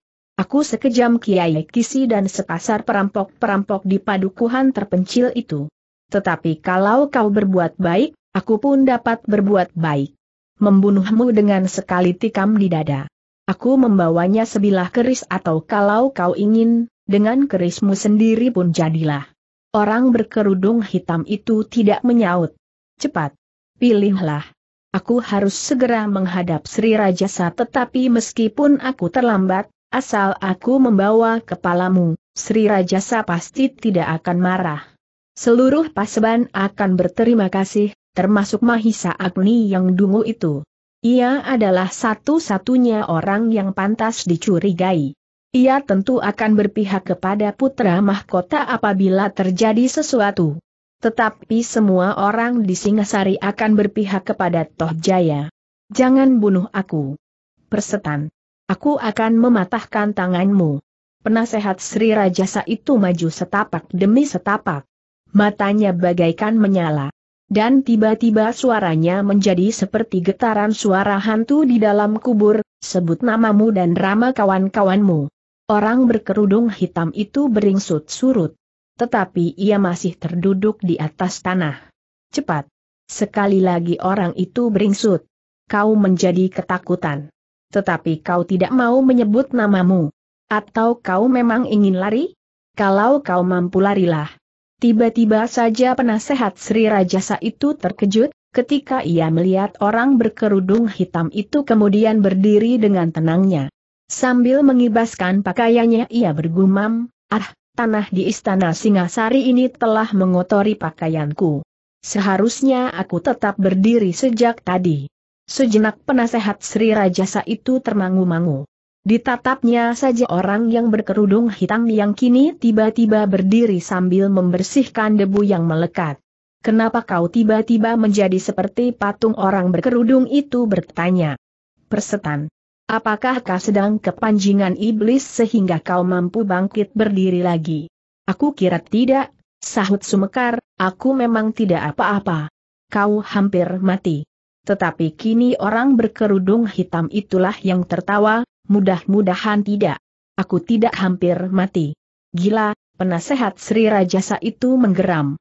Kini ia baru sadar, bahwa orang berkerudung hitam itu telah menjebaknya. Dengan berpura-pura tidak berdaya lagi ia telah berhasil menyadap keterangan dan pengakuan yang diperlukan, bahwa sebenarnya lah ia telah bersepakat dengan Kiai Kisi untuk membunuh atau menangkap putra mahkota yang akan dipergunakannya untuk memeras Sri Rajasa lewat permaisuri. Oleh kesadarannya itu maka tiba-tiba giginya gemeretak karena kemarahan yang serasa meledakan dadanya. Ia sudah terlanjur mengatakan, bahwa ia telah melakukan pengkhianatan itu, Karena ia yakin akan dapat membunuh orang berkerudung hitam itu. Namun tiba-tiba orang berkerudung hitam itu bangkit dan seperti tidak terjadi apa-apa ia berdiri tegak menghadapinya. Terima kasih, berkata Sumekar, kau sudah berterus terang. Aku memang hanya memerlukan pengakuan itu. Nah, sekarang apakah kau tetap menolak untuk bekerja bersama? Persetan. Aku akan membunuhmu. Tetapi orang berkerudung hitam itu tertawa katanya, kita sudah cukup lama bertempur. Kita sudah mengetahui kemampuan kita masing-masing.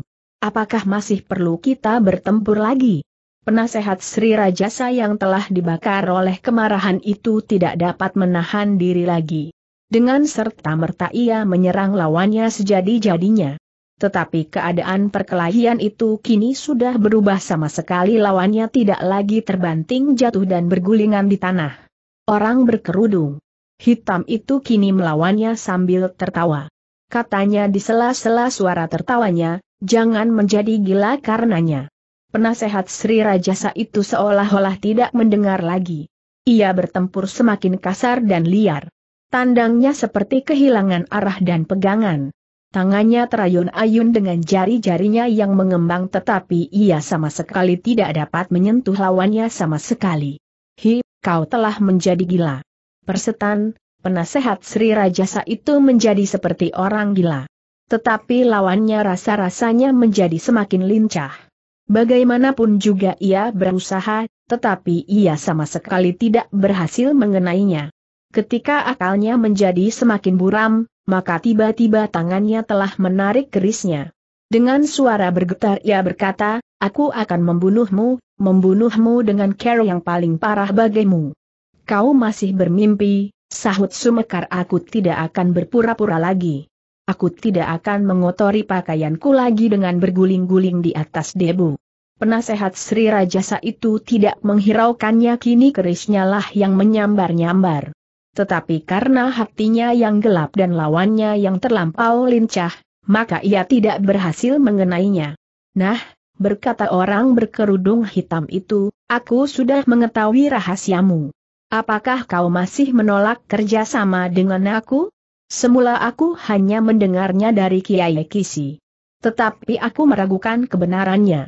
Ternyata kau mengiakannya tanpa sadar, atau justru karena kau terlampau sadar, bahwa kau akan berhasil membunuhku. Persetan. Berteriaklah.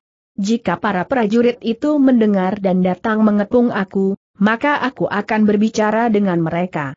Aku akan mengatakan bahwa kau telah berkhianat dan berusaha membunuh putra mahkota. Mereka tidak akan percaya. Semua orang mengetahui bahwa pengkhianat itu berada di dalam istana ini, ternyata ia berhasil membunuh kedua tawanan itu dan pengkhianat itu adalah kau. Tidak ada yang akan mempercayaimu. Sri Rajasa juga tidak. Sumekar tertawa. Katanya, jika memang demikian, aku tidak memerlukan kepercayaan itu. Tetapi bagaimana dengan tawaranku itu? Apakah kita akan bekerja bersama? Serangan penasihat Sri Rajasa itu menjadi semakin metu gelap. Serangannya sama sekali tidak terarah lagi. Tetapi seperti pesan Mahisa Agni, Sumekar memang tidak ingin menimbulkan kematian. Ia hanya sekedar meyakinkan, siapakah sebenarnya pengkhianat di dalam istana ini. Dan ia sudah menemukannya. Mahisa Agnilah kelak yang akan mengolah, apakah yang sebaiknya dilakukan untuk menyelamatkan putra mahkota. Karena itu, maka Sumekar seakan-akan hanyalah tinggal bermain-main saja. Ketika serangan membabi buta itu menjadi semakin liar, Sumekar pun mempergunakan kesempatan itu untuk menunjukkan bahwa kemampuan penasihat Sri Rajasa itu pun belum sempurna sama sekali. Demikianlah ketika keris orang itu terjulur lurus ke perutnya Sumekar hanya bergeser setapak mundur. Dengan sisi telapak tangannya ia memukul pergelangan tangan lawannya, sehingga kerisnya itu pun terjatuh beberapa langkah daripadanya. Penasehat Sri Rajasa itu terkejut bukan buatan. Pukulan tangan orang berkerudung hitam itu serasa telah mematahkan pergelangan tangannya. Namun ia tidak boleh menyerah. Dengan sigapnya ia meloncat memungut kerisnya. tetapi ia menggeram ketika ternyata kaki orang berkerudung itu telah menginjak hulu kerisnya itu. Setan, kau akan dikutuk oleh keris itu. Keris itu adalah keris bertuah, dan kau berani menginjak dengan kakimu giram penasihat Sri Rajasa itu. Tetapi lawannya menjawab sambil tertawa, keris mulah yang akan kehilangan tuah, karena ujungnya telah menyentuh tanah dan hulunya tersentuh telapak kaki. Persetan, Orang itu pun menyerang Sumekar dengan kakinya yang terjulur menyamping. Tetapi Sumekar cukup tangkas. Ia bergeser dan berputar pada kakinya yang menginjak keris itu. Kemudian dengan sebelah kakinya ia membalas serangan lawannya. Ketika kaki itu mengenai lambungnya, maka penasehat Sri Rajasa itu pun terlempar beberapa langkah dan jatuh terbanting di tanah. Kini ialah yang lidak segera dapat bangkit dan duduk bersandar kedua tangannya. Bangkitlah, geram orang berkerudung hitam. Penasehat Sri Rajasa itu tidak berhasil untuk berdiri, meskipun ia telah mencoba. Jangan berpura-pura. Berdirilah. Kita selesaikan persoalan ini. Tidak ada jawaban. Bangkitlah. Aku tahu, kau hanya sekedar berpura-pura tetapi kau tidak akan dapat memancing keterangan daripadaku. Kau tidak akan dapat mengharap aku menyebutkan namaku, memuka kerudungku dan mengatakan siapa saja kawan-kawan dalam kelompok orang-orang berkerudung dan sebagainya. Tidak. Aku tidak akan mengatakan meskipun kau berpura-pura akan mati. Setan alas. Gila kau teriak penasehat Sri Rajasa, bunuh aku kalau kau akan membunuh. Kau sengaja berteriak, Aku tahu kau sedang memanggil para peronda. Aku tidak peduli. Tetapi kau harus dibunuh beramai-ramai. Tetapi Sumekar tertawa. Ia sadar, pasti sudah ada satu dua orang peronda yang mendengar selagi penasehat itu bertariak. Meskipun demikian ia masih sempat berkata, aku dapat membunuhmu jika aku mau mudah sekali. Aku memungut kerismu kemudian menikam dada di arah jantungmu kau akan mati di sini sebelum para peronda itu datang. Tetapi aku orang baik aku bukan orang sekasar dan sebuas kau dan Kiai Kisi. Karena itu, aku masih ingin memeliharamu. Mungkin suatu ketika kau berubah pikiran dan minta kepadaku untuk bekerja bersama membunuh atau menangkap putra mahkota. Agaknya hal itu akan sangat menarik. Persetan. Persetan, orang itu berteriak semakin keras. Sementara itu, beberapa orang peronda memang mendengar suara teriakan itu lamat-lamat. Kemudian suara tertawa yang nyaring sekali, sehingga mereka pun menjadi berdebar-debar karenanya. Tetapi mereka tidak sempat berpikir panjang. Pemimpin para peronda yang tidak menjadi bingung segera memberikan perintah untuk mencari suara itu. Cepat, pasti di halaman istana bagian dalam. Beberapa orang peronda segera berlari-larian dengan senjata di tangan. Mereka pun memencar ke beberapa penjuru di dalam halaman dalam. Dalam pada itu, Sumekar masih juga tertawa. Tetapi begitu suara tertawanya lenyap, maka bayangan hitam itu bagaikan terbang meloncat dinding halaman dalam. Sumekar tahu benar, bahwa di balik dinding itu adalah kebun buah-buahan di bagian belakang yang cukup gelap. Karena itu, maka ia pun kemudian dengan cepat berhasil menyelinap dan seakan-akan hilang begitu saja. Ketika ia memasuki biliknya dengan perlahan-lahan sekali agar tidak membangunkan orang-orang di sebelah menyebelah, maka ia mendengar derap beberapa orang prajurit berlari-lari. Saat itu pula lah beberapa orang prajurit menemukan penasihat Sri Rajasa yang sudah berhasil berdiri di dalam kegelapan memegang keris yang telah dipungutnya. Sambil menahan sakit ia berkata, aku menjumpai seseorang yang mencurigakan. Sayang ia berhasil lari. Cari di segenap sudut dan tutup semua pintu, jangan ada nyamuk yang dapat keluar dari istana ini. Demikianlah, pada saat Sumekar melepaskan kerudung hitamnya, ia sudah mendengar tanda bahaya yang bergema di seluruh halaman. Para prajurit pun dengan cepatnya bersiaga di setiap pintu, bahkan setiap jengkal dinding halaman telah diawasinya pula. Tidak ada seorang pun yang dapat masuk atau keluar di luar pengawasan para prajurit pengawal yang sedang bertugas itu. Dalam pada itu, Sumekar pun dengan tergesa-gesa mengusap keringatnya yang membasahi hampir segenap tubuhnya. Kemudian dia disembunyikannya kerudung hitamnya rapat-rapat. Setelah mengganti bajunya yang basah oleh keringat dengan yang kering, maka ia pun mulai menenangkan debar jantungnya dan deru nafasnya. Seteguk ia minum air dingin dari dalam gendi. Barulah kemudian Sumekar membaringkan dirinya di pembaringannya. Di luar para irajurit menjadi semakin sibuk. Penasehat Sri Rajasa itu pun kemudian berlari-lari ke Paseban. Kalau Mahisa Agni tidak ada di sana, aku wajib mencurigainya. Hampir tidak masuk akal, bahwa ada orang yang memiliki kemampuan begitu tinggi selain Sri Rajasa sendiri dan Mahisa Agni penasehat Sri Rajasa itu menggermang di dalam hatinya. Dalam pada itu, setiap kali satu dua orang prajurit saling berpapasan tetapi mereka sama sekali tidak menemukan seorang pun yang pantas mereka curigai di dalam istana itu. Tetapi para prajurit itu tidak segera berputus asa. Mereka menganggap bahwa jika benar ada orang yang dikatakan oleh penasehat Sri Rajasa itu, ia pasti tidak akan dapat lolos lagi karena penjagaan yang sangat ketat. Karena itu, mereka masih saja meneliti segenap sudut yang panggelap sekalipun dengan obor-obor di tangan. Sementara itu, Sri Rajasa dan para pemimpin Singasari yang sudah berada di Paseban terperanjat mendengar tanda bahaya yang bergema di seluruh halaman istana.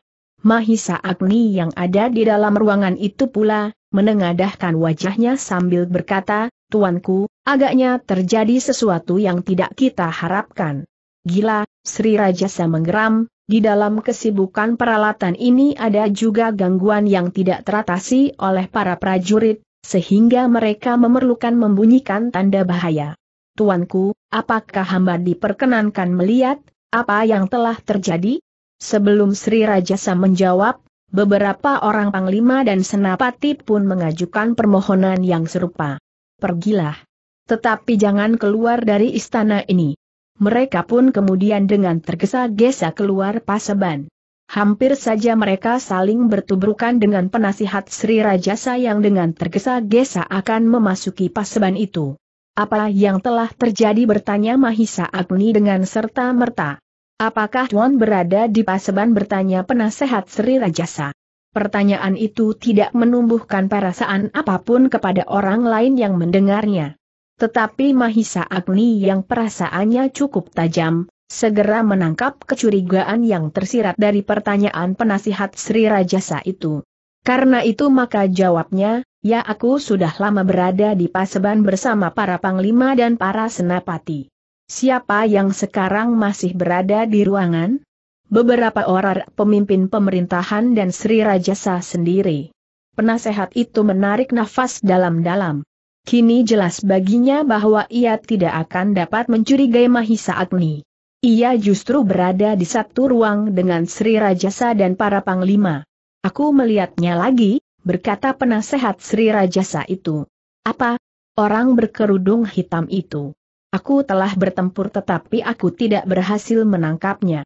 Karena ia berusaha melarikan diri, maka dengan terpaksa sekali aku memerintahkan menutup kesempatan itu dengan tanda bahaya. Apakah ia masih berada di halaman istana bertanya Mahisa Agni? Aku tidak tahu.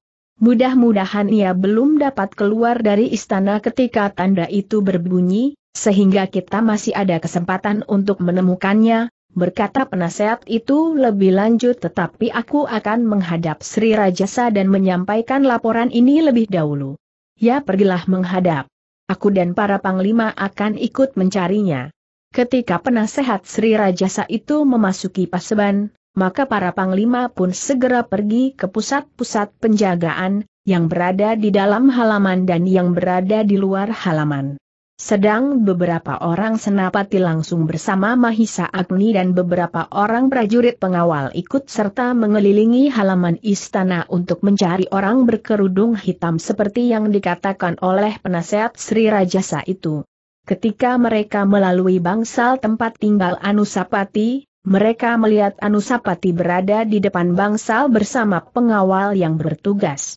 Tetapi kali ini, Anusapati tidak langsung pergi ke pusat penjagaan di dalam istana itu, Karena ia mempunyai pertimbangan lain. Paman, desis Anusapati ketika melihat Mahisa Agni lewat bersama para senapati, apa yang telah terjadi? Kami sedang mencari seorang berkerudung hitam yang berada di halaman istana ini. Oh, Anusapati mengerutkan keningnya. Hati-hatilah, berkata Mahisa Agni. Baiklah Paman, jawab Mahisa Agni. Aku akan meneruskan pencaharian ini. Silahkan Paman. Mahisa Agni pun kemudian meninggalkan bangsal itu. Mahisa Agni pun mengetahui bahwa Anusapati harus memikirkan istrinya pula, yang telah dipengaruhi oleh perasaan takut. Agaknya suara tanda bahaya di dalam halaman istana ini membuatnya menjadi ketakutan pula. Di bangsal yang lain, Mahisa Wonga Teleng, yang sedang berada di dalam puncak hidupnya, karena hari-hari peralatan perkawinannya, sedang berada di bangsalnya pula. Ia berada dalam pengawalan yang kuat. Beberapa orang tua-tua memang menduga, bahwa ada kemungkinan Orang yang dimaksudkan dengan sengaja mengacaukan peralatan ini dan mempunyai maksud-maksud jahat terhadap Mahisa Wonga Teleng. Sedang di bangsal yang lain lagi, beberapa orang peronda berdiri dengan senjata telanjang. Mereka mengawal bangsal Toh Jaya dengan cermatnya. Karena tidak ada kepastian, siapakah yang datang ke dalam istana untuk menimbulkan kerusuhan, maka setiap pihak di dalam istana itu telah menyiapkan diri mereka masing-masing. Mereka telah dicengkam oleh saling curiga mencurigai dan dugaan yang menyesatkan. Hal itu ternyata dapat dilihat oleh Mahisa Agni. Untunglah bahwa prajurit-prajurit Singasari masih belum menjadi sedemikian parahnya diseret oleh pihak-pihak yang dengan diam-diam saling curiga mencurigai itu. Tetapi ternyata hal itu sangat berpengaruh bagi kehidupan di dalam istana Singasari itu. Semua orang bertanya-tanya di dalam hati, apakah sebenarnya yang telah terjadi.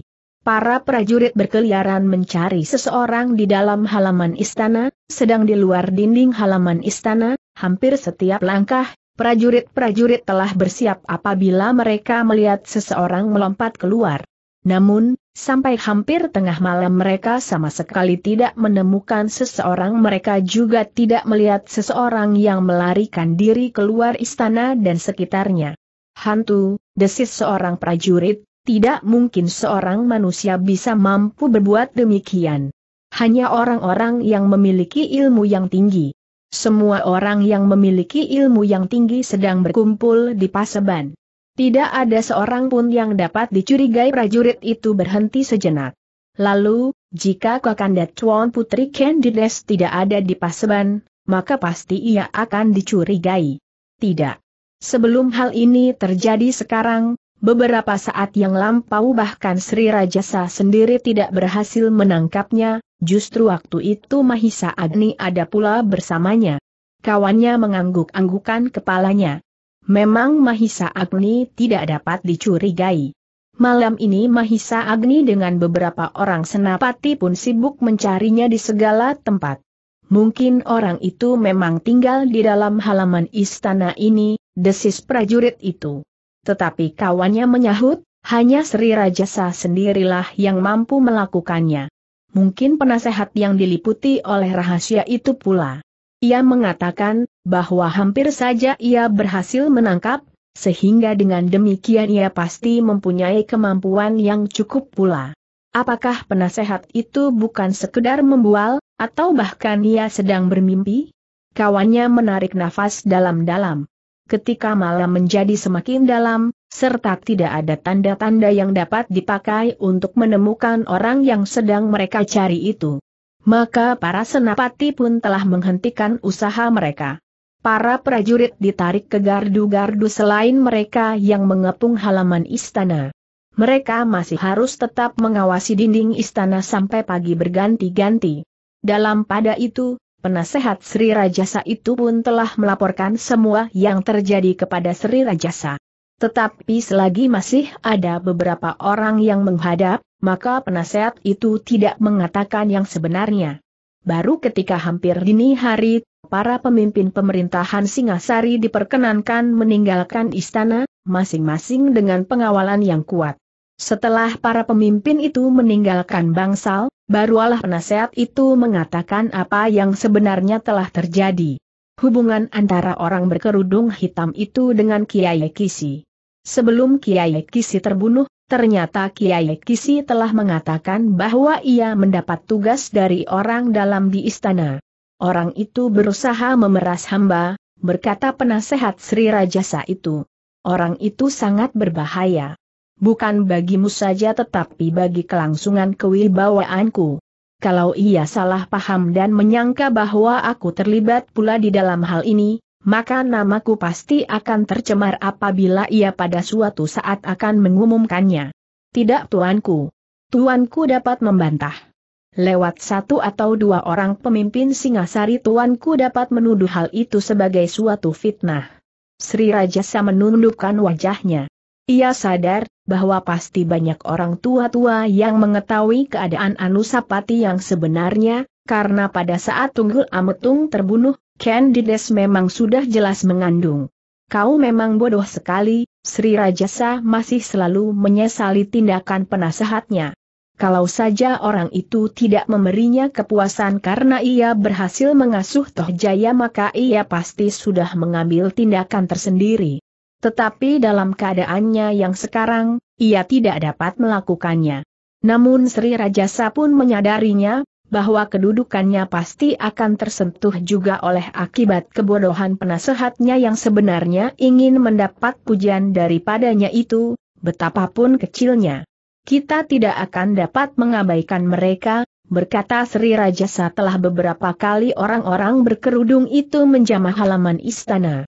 Bahkan aku sendiri pernah berusaha untuk menangkapnya, tetapi ia berhasil lolos. Belum tentu orang yang datang sekarang itu orang yang terdahulu juga. Bahkan pernah terjadi mereka datang bersama-sama tiga orang seperti yang pernah kau katakan. Apalagi mereka berhasil menggagalkan usaha Kiai Kisi untuk membunuh atau menangkap putra mahkota. Nah, kau dapat membayangkan bahwa hal ini bukannya suatu permainan yang dapat diabaikan. Kita tidak tahu, apakah di belakang mereka berdiri pasukan segelar sepapan dari orang-orang berkerudung hitam dan memiliki kemampuan yang menggemparkan itu.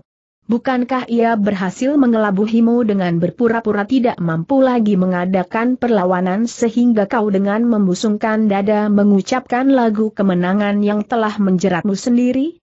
Penasehat itu menganggukkan kepalanya. Kita harus berhati-hati. Aku harus menyusun kekuatan sebelum terlambat. Pada suatu saat Toh Jaya harus mengerti dan mempersiapkan dirinya.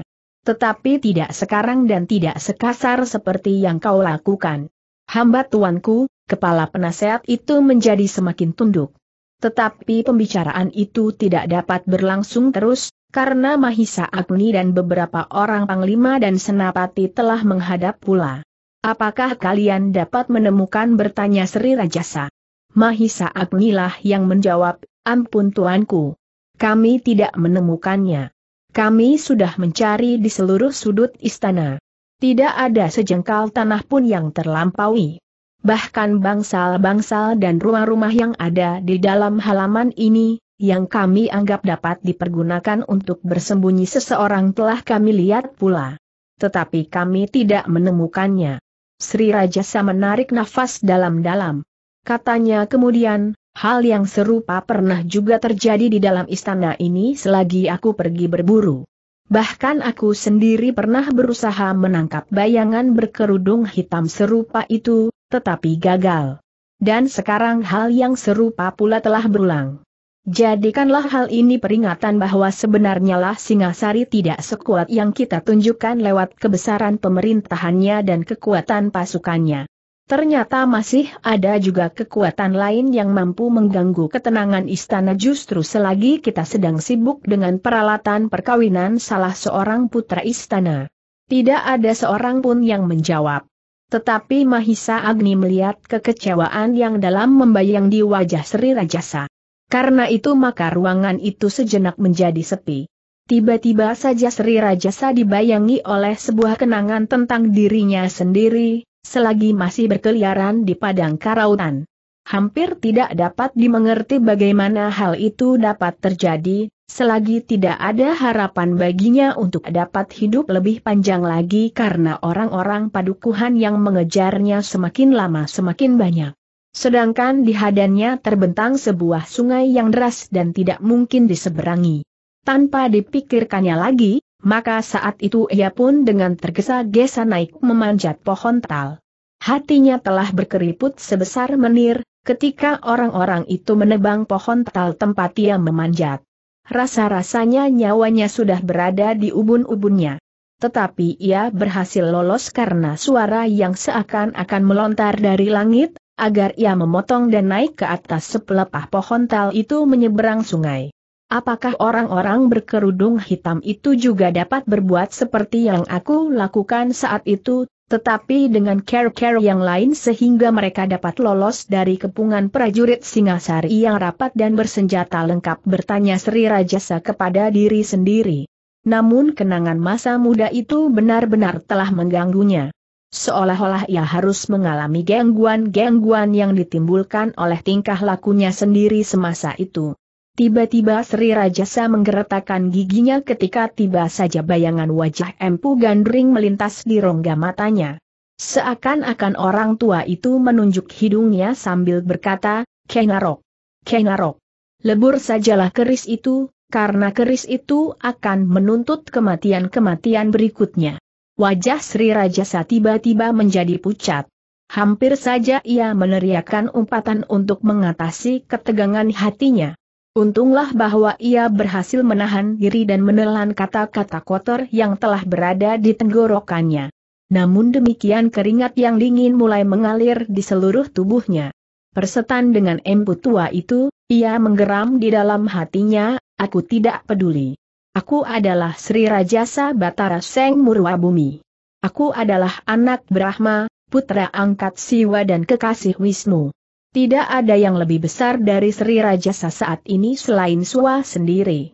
Tetapi tubuhnya terasa menggigil ketika terpandang olehnya mata Mahisa Agni yang seolah-olah menyala membakar seluruh isi dadanya. Orang itu mempunyai sesuatu yang dapat menjadi pengejauhan tahan Suwa sendiri. Sebuah trisula yang aneh, yang tiba-tiba saja membuatnya menjadi silau. Membuatnya kehilangan kemampuan untuk berbuat sesuatu. Oh, gila, gila, tiba-tiba Sri Rajasa berteriak sehingga seisi paseban itu terkejut karenanya. Bahkan Sri Rajasa sendiri terkejut pula oleh teriakannya itu. Ampun tuanku, berkata Mahisa Agni, apakah yang telah membuat tuanku menjadi risau? Sri Rajasa mengejapkan matanya. Kini dilihatnya Mahisa Agni duduk di hadapannya sambil menundukkan kepalanya.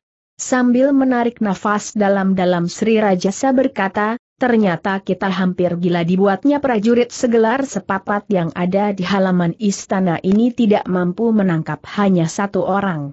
Prajurit pengawal istana Singasari yang dibanggakan ini, dipimpin langsung oleh para senapati dan panglimanya, sama sekali tidak dapat berbuat apa-apa. Tidak seorang pun yang berani mengangkat kepalanya, Mahisa Agni pun tunduk pula dalam-dalam. Tetapi Sri Rajasa tidak dapat menyingkirkan kecemasannya. Trisula yang pernah dilihatnya itu kini pasti telah berada di tangan Mahisa Agni. Oh, Sri Rajasa menjadi gemetar. Seakan-akan dilihatnya cahaya Trisula kecil itu memancar langsung menyilaukan matanya. Kemudian meluncur dari dalam cahaya itu keris bertuah yang menuntut berlakunya kutukan empu gandring, keris yang bertangkaikan dahan cangkring. Kemudian seorang keturunan tunggal ametung yang telah dibunuhnya pula membayang di sela-sela cahaya yang menyilaukan itu. Sekali lagi Sri Rajasa hampir terpekik semua itu seakan-akan tampak jelas tidak saja di dalam angan-angannya. Untunglah bahwa ia segera menyadari keadaannya, bahwa ia kini berada di hadapan Mahisa Agni, beberapa orang panglima dan senapati Singasari. Mereka adalah orang-orang yang setia, ia mencoba menenteramkan hatinya sendiri meskipun masih terasa gejolak yang menggelora di dadanya. Dalam pada itu, baik Mahisa Agni dan para prajurit yang menghadap Sri Rajasa melihat, betapa hati Sri Rajasa itu bergejolak tidak menentu. Tetapi mereka menyangka bahwa Sri Rajasa sedang dicengkam oleh kemarahan dan kecemasan, bahwa orang yang berkerudung hitam itu semakin lama menjadi semakin berani. Tidak dapat disangka lagi, bahwa orang-orang berkerudung hitam itu adalah orang-orang yang pilih tanding. Bahkan Sri Rajasa sendiri telah gagal menangkap salah seorang dari mereka. Demikianlah maka para pemimpin pemerintahan dan prajurit Singasari menjadi murung meskipun dalam suasana yang gembira. Bagaimanapun juga mereka tidak akan dapat segera melupakan orang berkerudung hitam yang setiap kali membayangi istana Singasari. Namun peristiwa itu telah mendorong para prajurit untuk semakin bersiaga setiap saat. Ternyata bahwa Singasari tidaklah setenang yang mereka sangka. Demikianlah, maka dua orang putra Candides telah berkeluarga. Sedangkan putra sulung Ken Umang masih merasa perlu untuk menempa diri di dalam walah kanuragan di balik dinding tertutup, seakan-akan Sri Rajasa berusaha untuk menyembunyikan kemampuan Toh Jaya yang sebenarnya. Tetapi ternyata Toh Jaya sendiri tidak dapat merahasiakan kemampuannya. Setiap kali ia justru ingin memperlihatkan bahwa ia adalah seorang putra Sri Rajasa yang perkasa. Aku juga akan menjalani pendadaran seperti yang pernah dilakukan oleh Kakang Anusapati, berkata Toh Jaya setiap kali kepada para prajurit. Dan ia memang minta kepada ayahandanya untuk pada suatu saat mendapat tugas yang serupa, agar ia mendapat kesempatan untuk menunjukkan kemampuannya. Kau akan mendapat kesempatan itu, berkata Sri Rajasa. Tetapi Sri Rajasa masih selalu mempertimbangkan waktu dan suasana yang tepat. Adalah tidak mustahil, apabila rencana ini diketahui oleh salah seorang dari orang-orang biar kerudung hitam itu, maka akibatnya akan gawat bagi Toh Jaya. Dan Sri Rajasa pun mengambil kesimpulan, bahwa tidak mustahil bahwa orang-orang di dalam istana Singasari itu pun ada yang telah berkhianat pula, dan memberi kesempatan kepada orang-orang berkerudung hitam untuk berlindung apabila keadaan memaksa. Ketika hari-hari yang ramai untuk merayakan perkawinan Mahisa Wonga Teleng itu sampai pada akhirnya, maka Mahisa Agni pun harus segera kembali ke Kediri. Namun dia sempat mencari waktu di sela-sela. Kesibukannya untuk bertemu dengan Sumekar dan mendengarkan ceritanya tentang usahanya untuk menyadap pengakuan dari penasehat itu kau memang cerdik, berkata Mahisa Agni sambil tersenyum. Namun di balik senyumnya, Mahisa Agni melihat bahwa Anusapati benar-benar telah dibayangi oleh bahaya yang sebenarnya telah mengancam jiwanya. Kau harus lebih berhati-hati, berkata Mahisa Agni kepada Sumekar tolong awasi anak itu. Meskipun kemampuannya di dalam olah kanuragan semakin lama menjadi semakin masak, tetapi bagaimanapun juga masih muda. Kadang-kadang ia masih kehilangan pengamatan diri dan kesabaran, sehingga tingkah lakunya akan dapat berbahaya bagi dirinya sendiri. Sumekar mengangguk-anggukan kepalanya. Aku akan berusaha, berkata Sumekar. Namun dahinya segera menjadi berkerut-merut ketika ia melihat tatapan mata Mahisa Agni yang menjadi semakin tajam. Dengan bersungguh-sungguh Mahisa Agni berkata, Sumekar.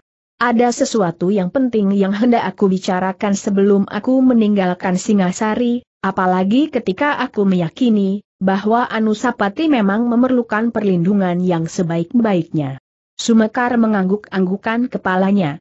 Tetapi ia tidak menjawab.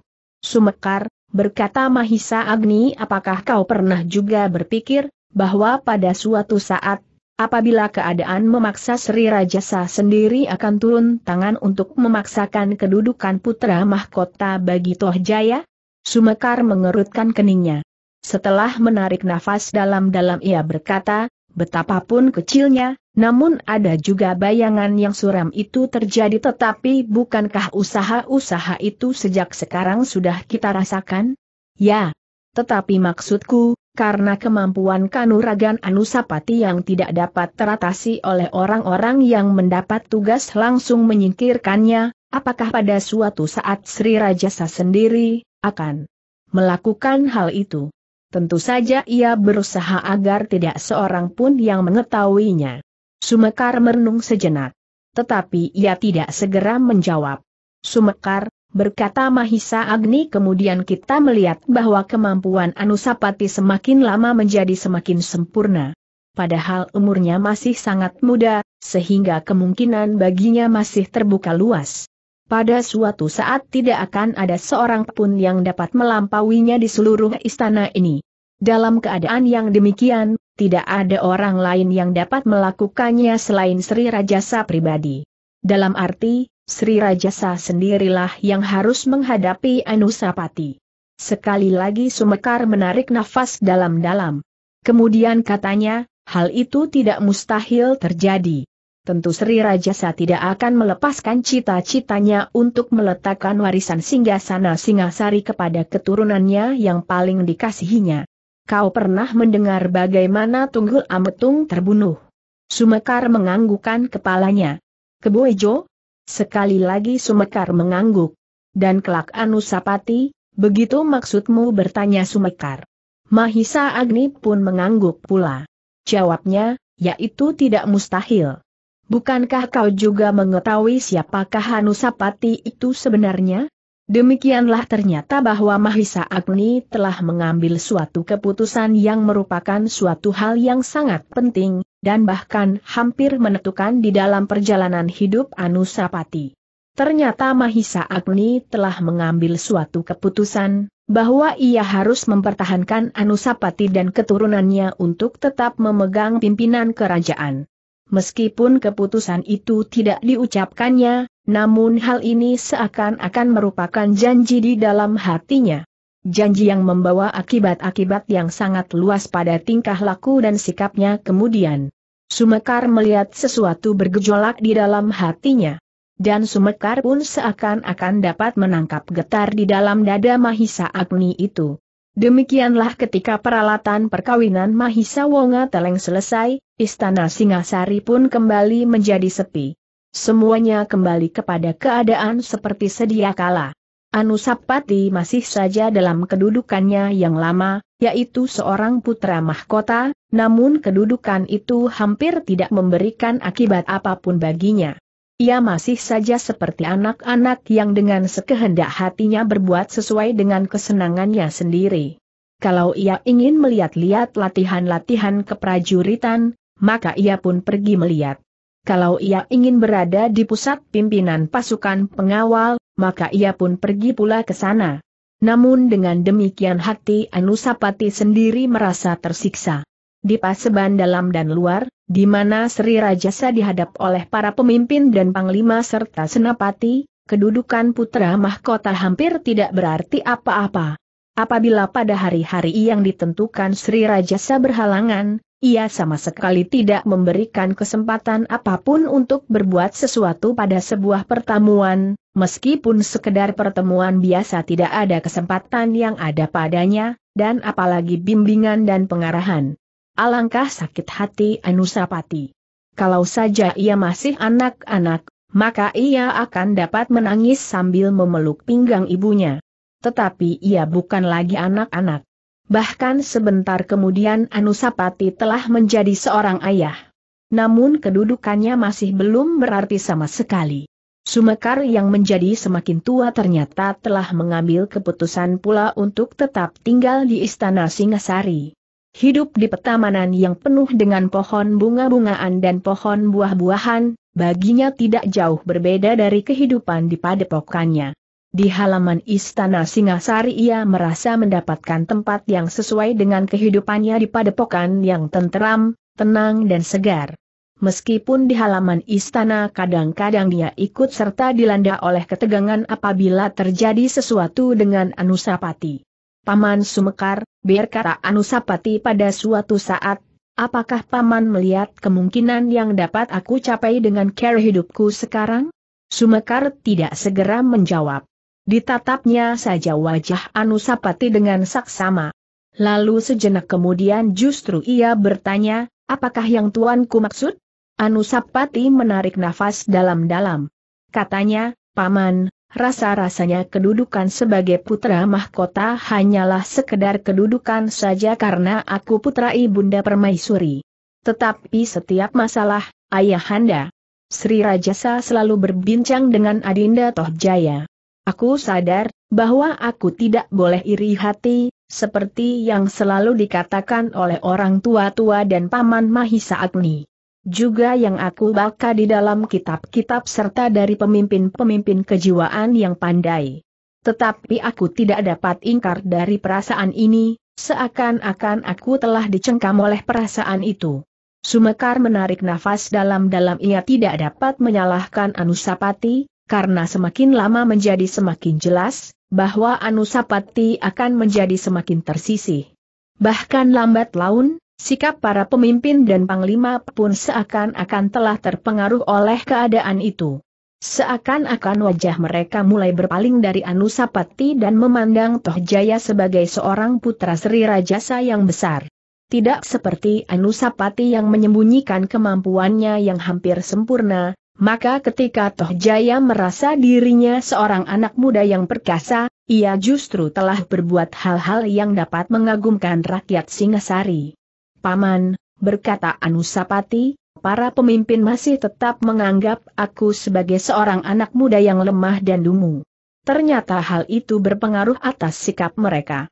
Lambat laun mereka tidak mempunyai harapan dan pilihan apa pun padaku kadang-kadang mereka menjadi kagum juga apabila aku mengambil sikap. Tetapi kesempatan itu terlampau jarang.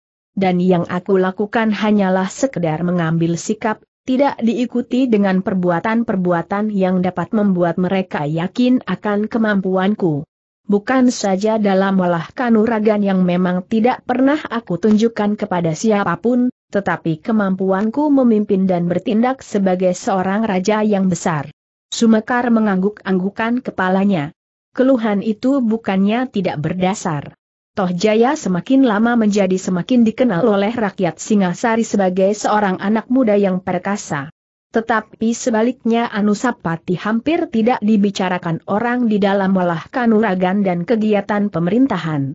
Sumekar tidak dapat ingkar, bahwa satu dua orang justru pernah berkata, Anusapati lebih senang menunggui istrinya daripada berbuat sesuatu untuk Singasari. Inilah agaknya jalan yang akan ditempuh oleh Sri Rajasa. Memang tidak sekasar yang dilakukan oleh penasehatnya. Tetapi justru terlampau berbahaya bagi putra mahkota. Penolakan rakyat Singasari atas putra mahkota akan menimbulkan akibat yang sangat gawat baginya dan bagi Singasari, berkata Sumekar di dalam hatinya. Paman, berkata Anusapati kemudian apakah sebaiknya aku diam saja sambil menunggu nasib yang akan menjebakku kemudian, apa pun akibatnya? Sumekar mengangguk-anggukan kepalanya. Teringat olehnya sikap dan perasaan yang bergolak di dalam dada Mahisa Agni di saat-saat terakhir hari perkawinan Mahisa Wonga Teleng. Seolah-olah ia dapat membaca dengan jelas pada wajah Mahisa Agni, bahwa ia akan berbuat sesuatu. Sesuatu yang penting bagi Anusapati. Tetapi Sumekar tidak dapat mengatakannya. Ia hanya melihat sesuatu yang membayang. Tetapi ia tidak jelas dan tidak dapat memastikan apakah penglihatannya itu benar. Namun demikian ia berusaha untuk membesarkan hati putra mahkota, tentu tidak tuanku. Tuanku tidak akan begitu saja pasrah kepada nasib tuanku harus berbuat sesuatu. Dan hamba yakin bahwa Pamanda Mahisa Agni pun sudah memperhitungkannya. Pamanda Mahisa Agni dapat mengerti, apa yang sedang dilakukan oleh ayahanda sekarang, dan karena itu, ia akan berbuat sesuatu. Tetapi Paman, apakah Paman sampai sekarang tidak melihat, bahwa sikap ayahanda Sri Rajasa semakin lama menjadi semakin asing bagiku? hanya di hadapan Ibunda Permaisuri ayahanda bersikap baik. Tetapi jika tidak ada Ibunda Permaisuri sikap ayahanda terasa aneh sekali.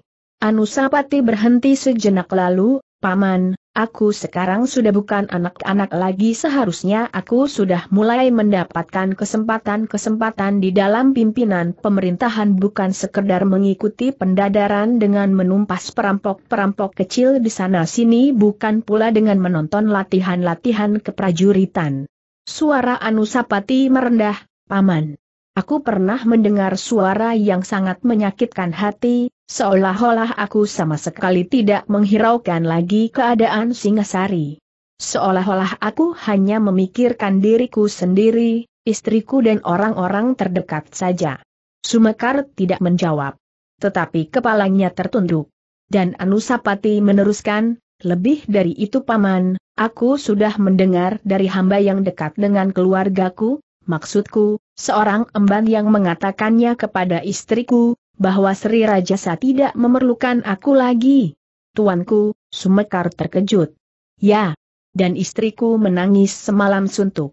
Hal itu bukannya yang pertama kali didengarnya bermacam-macam persoalan yang aku kira memang dengan sengaja, dihembus-hembuskan agar sampai ke telinga istriku. Dengan demikian, kedudukanku menjadi semakin lemah. Dari luar dan dari dalam. Itu sudah keterlaluan, tiba-tiba Sumekar menggeram, sebenarnya Tuan Putri tidak boleh mendengar hal-hal semacam itu. Tetapi menurut perhitunganku, memang ada kesengajaan. Istriku juga pernah mendengar ejekan orang tentang kelemahan dan kebodohanku dibandingkan dengan Adinda Toh Jaya. Sumekar mengangguk-anggukan kepalanya. Katanya, jika demikian keadaan memang sudah gawat tuanku Pamanda Mahisa Agni harus segera mengetahuinya. Anusapati mengangguk kecil, ya. Tetapi Pamanda Mahisa Agni akan lebih baik tetap diam. Aku melihat ada sesuatu yang menahan Pamanda untuk berbuat sesuatu. Aku kira Pamanda Mahisa Agni adalah sahabat Tayahanda Sri Rajasa di dalam batas-batas tertentu. Pamanda Mahisa Agni tidak dapat bertindak lebih maju lagi. Bukan begitu tuanku. Pamanda tuanku tidak hanya sekedar berhenti pada suatu batas tertentu. Ia akan maju terus. Percayalah. Tetapi pamanda tuanku akan mengambil jalan yang paling baik buat tuanku, buat tayahanda tuanku dan buat Singasari. Itu adalah tanggung jawab yang tidak dapat dihindarinya. Anusapati tidak menjawab sekilas terbayang apa saja yang pernah dilakukan oleh Mahisa Agni untuknya. Memang sudah banyak sekali, tiba-tiba Anusapati berdesis. Apa tuanku bertanya Sumekar? Paman Mahisa Agni memang sudah banyak sekali berbuat untukku. Dan paman datuanku itu masih akan banyak lagi berbuat. Demikianlah Sumekar dapat merasakan goncangan angan perasaan pada putra mahkota.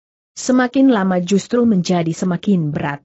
Bahkan setelah Anusapati menjadi seorang ayah, orang-orang istana Singasari tidak lagi dengan segan-segan memperkatakannya. Anusapati tidak lagi mendengar dari satu dua orang, bagaimana tanggapan orang-orang di istana Singasari itu atasnya. Dengan demikian Anusapati dapat memperhitungkan, bagaimanakah kira-kira tanggapan rakyat Singasari. Seluruhnya terhadapnya, terutama mereka yang tinggal di pusat pemerintahan. Sumekar pun semakin lama menjadi menyadari kedudukan putra mahkota yang sulit itu apalagi setiap kali Toh Jaya selalu memancing persoalan dan menunjukkan kelebihannya dari setiap putra Sri Rajasa yang lain. Mahisa Wonga Teleng yang kemudian juga mempunyai seorang anak laki-laki pun merasakan sesuatu yang tidak wajar pada sikap Ayahanda Sri Rajasa.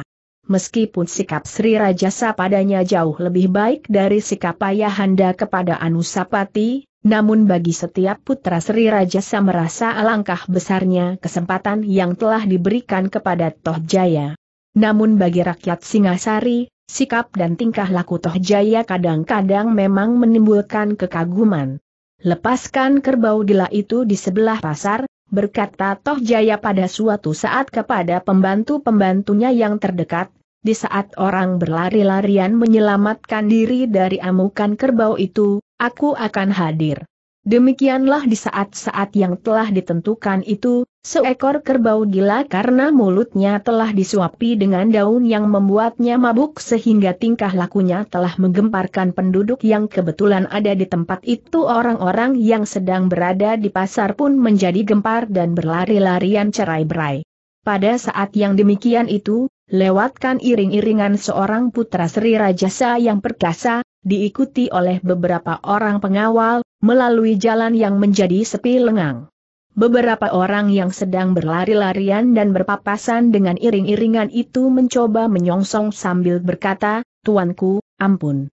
Janganlah tuanku lewat jalan ini. Seekor kerbau sedang mengamuk di sebelah pasar. Toh Jaya mengerutkan keningnya. tetapi ia justru tersenyum sambil berkata, biarlah kerbau itu mengamuk. Aku hanya akan sekedar lewat.